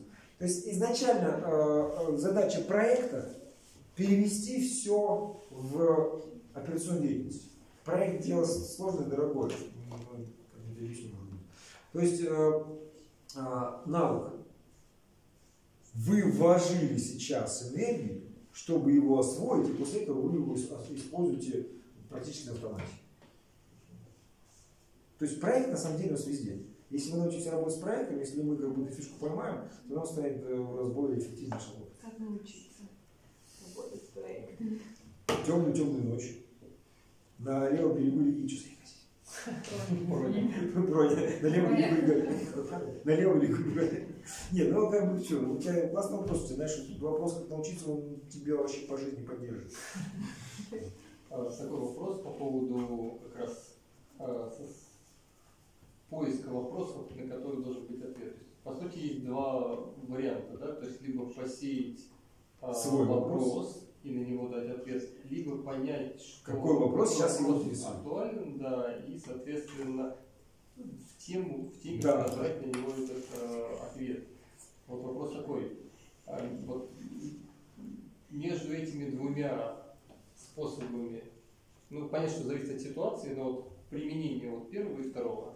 Э, Естественно, Когда- когда лучше? Второй легче, потому что понять, что человека волнует, не так уж сложно. А вот, кстати, тоже, если вот про, про второй, то как, как, что является такими моментами? Есть, это, знаете, если есть целые там книжки, как это все, как слушать человека, у продажников много технологий. Но я на самом деле уже сказал, что сейчас, именно сейчас, а, идет конкуренция вопросов. Не я один до этого додумался. Возможно, многие люди додумались до меня, причем люди, которые не из нашей песочницы. И поэтому сейчас в головах у тех людей, с которыми мы хотим работать, и ваших тоже, огромное количество вопросов, которые были заброшены специально, те, которые уже ОПА, чтобы потом ее и продать. То есть э, сейчас идет конкуренция вопросов.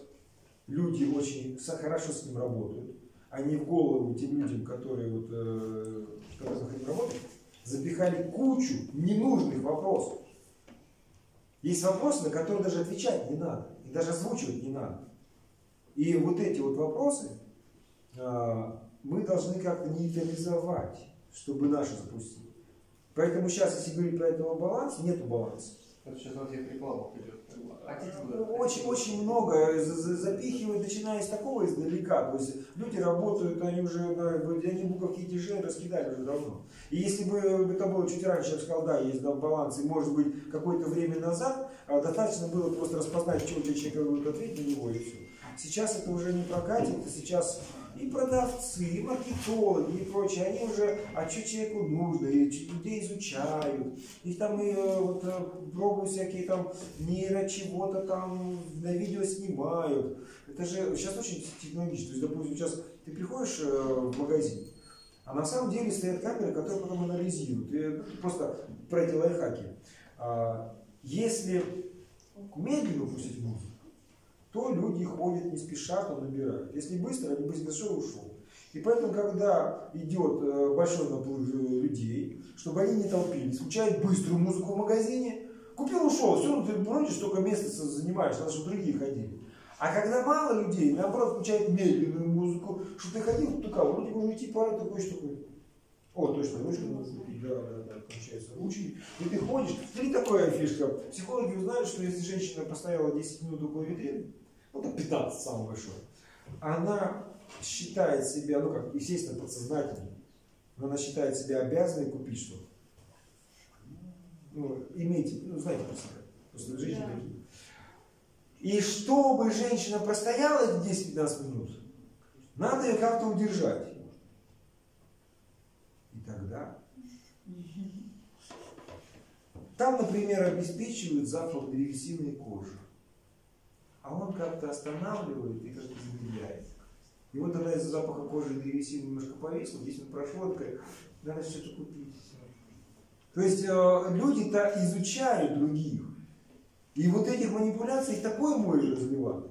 И э, здесь э, я просто сейчас ну, какую-то базовую технологию сказал, как посеять вопрос, а как посеять? Люди институты этим занимаются, как посеять. Это я немножко сказал там про э, чашку в руки, про... это только маленькая часть того э, манипуляции. Вот, допустим, женщине нужно купить стиральный порошок. Она такая купила порошок, думает, ну я его купила, потому что он вроде пахнет нормально, чистит хорошо, но химии мало, стоит нормально, да. То есть она как бы э, сбалансированно приняла решение, обработав некий аналитический материал. Девочка когда-то смотрела какой-нибудь там My Little Pony мультик, мультипликаторы, которые сделали этот мультфильм, э, базовую цветовую гамму, заложенную в этот мультфильм, продали производителям порошка. На порошке цветовая гамма, которая используется для оформления коробки, из мультфильма «Маленького пони». Эмоциональная лимбическая система говорит, Тура покупает, это самое классное. И она покупает, а когнитивная система она должна оправдать выбор лимбической системы. Говорит, да, это самый чистый порошок, он классно пахнет. Он вообще он, э, там, экономичный, экологичный, эко чего-то еще. То есть и много э, исследований, которые показывают, что наш выбор в основном эмоциональный. То есть там лимбическая система, она та, которая чуть поглубже, ближе к рептилии. А когнитивная часть, то есть когда человек эмоционально уже выбрал, то когнитивно нам объясняет, почему я это выбрал. И начинает придумывать, что там то-то, то-то. На эту тему есть почти анекдот, это исследование, ну как, не исследование, издевательство. Значит, мужика загипнотизировали и ему сказали, вот если этот э, парень поднимет руку, ты снимешь пиджак. Если он еще раз ее поднимет, ты оденешь пиджак. Поднимет, снимешь. И вот, значит, э, запускают, ну, грубо говоря, э, одного из вас загипнотизировали, а, и запускают людей. Один человек сидит, вот это загипнотизированный. И вот я с вами тут типа разговариваю. А в это время подставной вот этот парень поднимает руку. Человек ни с того ни с сего встает, снимает пиджак, вешает на, на ну, как, ну нормально все сидят, как бы не холодно, не жарко. Ну, как бы, ну, как бы, ну, не знаю, снял и снял. Вот. А тут же камеры все снимают, как бы, и люди не знают, что почем, и ты не знаешь, что почем. Этот опять поднимает руку. Ну, ты стоишь, одеваешь пиджак, нормально, он сел. Но он опять поднимает руку. Человек встает, снимает пиджак. Ну, он же только что его делал. Он говорит, ты что-то жарко. Это поднимает руку. Тот встает, одевает пиджак. Что-то зябко. Этот падла поднимает руку. Это снимает пиджак. И мучительно, а оно же фиксируется, это же исследование. И видно, что у него идет работа. А, а, а что его снял Он ищет объяснение каждому. И тут сволочь такая поднимает, поднимает, это снимает. И каждый раз мучаясь, думает, что его сейчас снял. То есть э, наш мозг объясняет нам же, почему мы этот выбор сделали. А этот выбор мы не сделали, нам его заложили предыдущими манипуляциями тех ребят. Я очень простенько сказал по вопросу. На самом деле, да, это есть, я говорю, что есть технология, есть понимание, потому что что-то мы взяли из психологии, что-то из нейропсихологии, что-то там еще чего-то. Нужно просто понимать, что вот у меня базовая моя компетенция миссионерства. Мне нужен инструмент откуда? С психологии. Так, давай, психология, открывайся, ага, давайте, всем откройся, расскажи, дай что-нибудь меня. Еще чего-то берете. Не забывайте центральную вашу задачу миссионерить народ. Так, 10 часов пришло? Нет. Нет? Вот, столько но у вас же есть ответы на вопросы наши? Если вы прошли такой путь обучения, опыт у вас, у меня как мы есть. найдем эти ответы? У меня есть. Вот мы сейчас уйдем, у нас появились вопросы, вас не будет. И куда нам идти? Я отмазался. Я, я ответ дал. Блаженный, алчущий, жаждущий правды. Ну все, Вот мы жаждите, жаждите эту правду, все получите. Жаждем от вас знаний, потому что вы опытный человек в этом Ну, смотрите, во-первых, я таким не был. Когда-то. То есть я почему-то, а, у меня такая история, я преподавал в вузах Москвы, не имея педагогического образования. Завтра? Сейчас у меня есть педагогическое образование, потому что меня уже в вузы достали, говорят, Руслан Павлович, мы хотим вас взять на работу, но у вас нету корочек. Возьмите, пожалуйста, получите корочки. Я получил корочки педагога и с сих пор в ВУЗе не преподаю. Ну, нормально, э, развитие. Я к тому, что я почему-то узнал, не будучи педагогом, никто ничего не рассказывал, я самые вещи узнал. Потому что у меня был запрос, я реально, искренне хотел узнать. Причем качество ответа, который хотел получить, должно быть достойно, чтобы я его транслировал другим. Потому что есть вопросы, которые вот я себе ответ получил, э, и нормально. А если, если я кому-то транслирую, кстати, то вы несете ответственность за ваш, за ваш ответ. Потому что на основании, вот вы посеяли людям вопрос, вы им дали ответ, а вдруг он неверный. а люди по нему живут. Ответственность у нас перед Богом. Поэтому здесь тоже, ну, здесь много возникает нюансов, еще чего. Но по большому счету, если вы искренне хотите иметь ответы в молитвах, попросите. Это один из инструментов. Тут, конечно, в нашем случае молитва такая же технология. Потому что вы можете попробовать помолился, пошел работать, не помолился. по- Знаете, я два года жил без прав, у меня менты отобрали права и потеряли их. И я не решен, и мне их нету. Я уже, вот, типа, я их потерял, готов штраф заплатить, не пробивают, тут их не потерял, не по базе у нас. И говорят, дайте, а мы не знаем, они. И вот я два года ездил без прав. Дубликат? А они взят дубликат. А потому что права-то есть. Дубликат за, за тем- замену терянных. И э, вот я четко чувствовал, тут помолился, поехал нормально, не помолился, рассказывай. Гаишник останавливаешь, и я говорю, знаете, у меня есть два ответа, короткий и длинный. Он говорит, ну давай с короткого. Когда я рассказываю длинный, меня отпускают. Ну ладно, иди. Смотрите, а, давайте сейчас э, подумаем на следующее. Э, На завтра заказано с нами по полтора часа. А, Завтра полтора часа. Я могу немножко углубиться в тему проекта. Рассказать что-то практически. Огонь. Огонь. У меня есть много ответов на хороший вопрос. У меня есть э, такое интересное сообщение. Э, я могу рассказать о сути управления. Универсально. Мясной комбинат, я. Забросстроители, я. Молчите, вас отдельно вообще. То есть э, суть э, управления универсальна. То есть независимо чем, кем вообще, что такое, хоть с собой хоть что-то, то есть универсальная тема про суть управления. То есть э, простенькая моделька, которая абсолютно точно работает и э, поможет понять любое управление в принципе.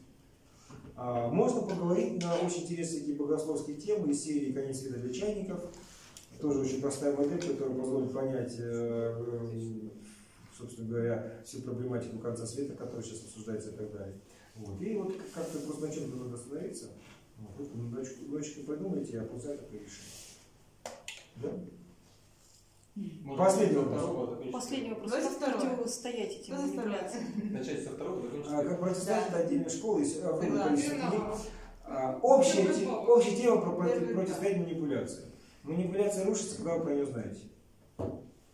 То есть, когда вам, вот, знаете, наперсточки, ты говоришь, наперстки, прикольно. А говоришь, смотри, наперстки, это технология. Сперва будет вот это, потом будет вот это. Того мужика, знаешь, он тоже свой. Вот этот, который, типа, он тоже. Ты, всю- когда ты рассказал всю вот, технологию наперсточку, ты такой, тю, да ну нафиг. То есть, вот, э, манипуляция рушится, когда ты ее знаешь. Поэтому, чем больше вы знаете, тем э, больше у вас шансов избежать манипуляции.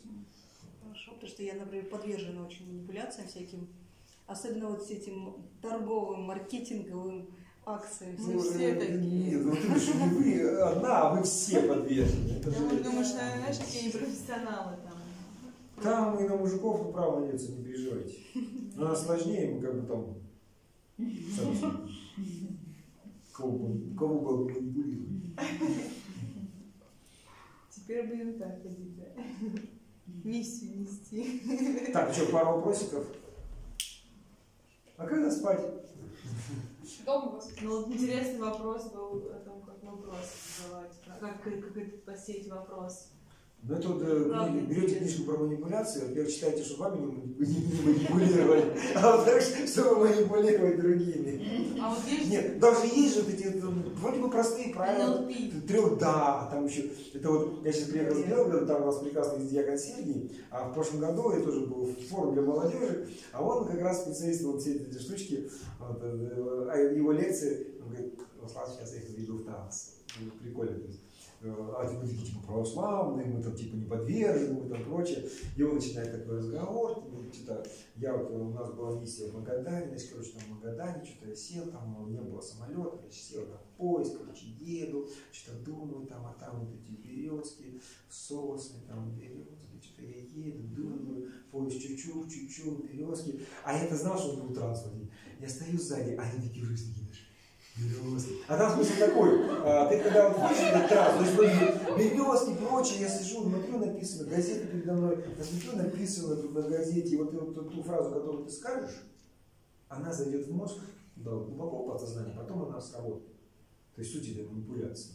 И вот, он, короче, на березке, они такие уже в тактовом поезде качаются. А я, я же вижу, я этого ржу. Говорит, Руслан Анатольевич так примерно ржет, ребята, выходите, вы не все. То есть он последнюю фразу сказал, потому что, говорит, ребята, вы просто, вот сейчас я бы сказал фразу, и она была залезла, и она могла сработать через год, через два, через три, нужное время, потому что было заложено, когда надо сработать эта фраза. А вроде бы просто еду с Поготана, березки, сосны, сосны, березки, чух-чух, чух-чух. В жизни много очень интересного, нужно просто вот как бы ну, понимать, что чем больше А как фамилия этого батюшки? Сергей как? Сергей. Ну, он э, дьякон Епифан- Епифанцев, по-моему. Но он как бы не свои работы, он просто, он мне скинул, я могу это, он мне накидал целую папку этих видосиков, как народ да.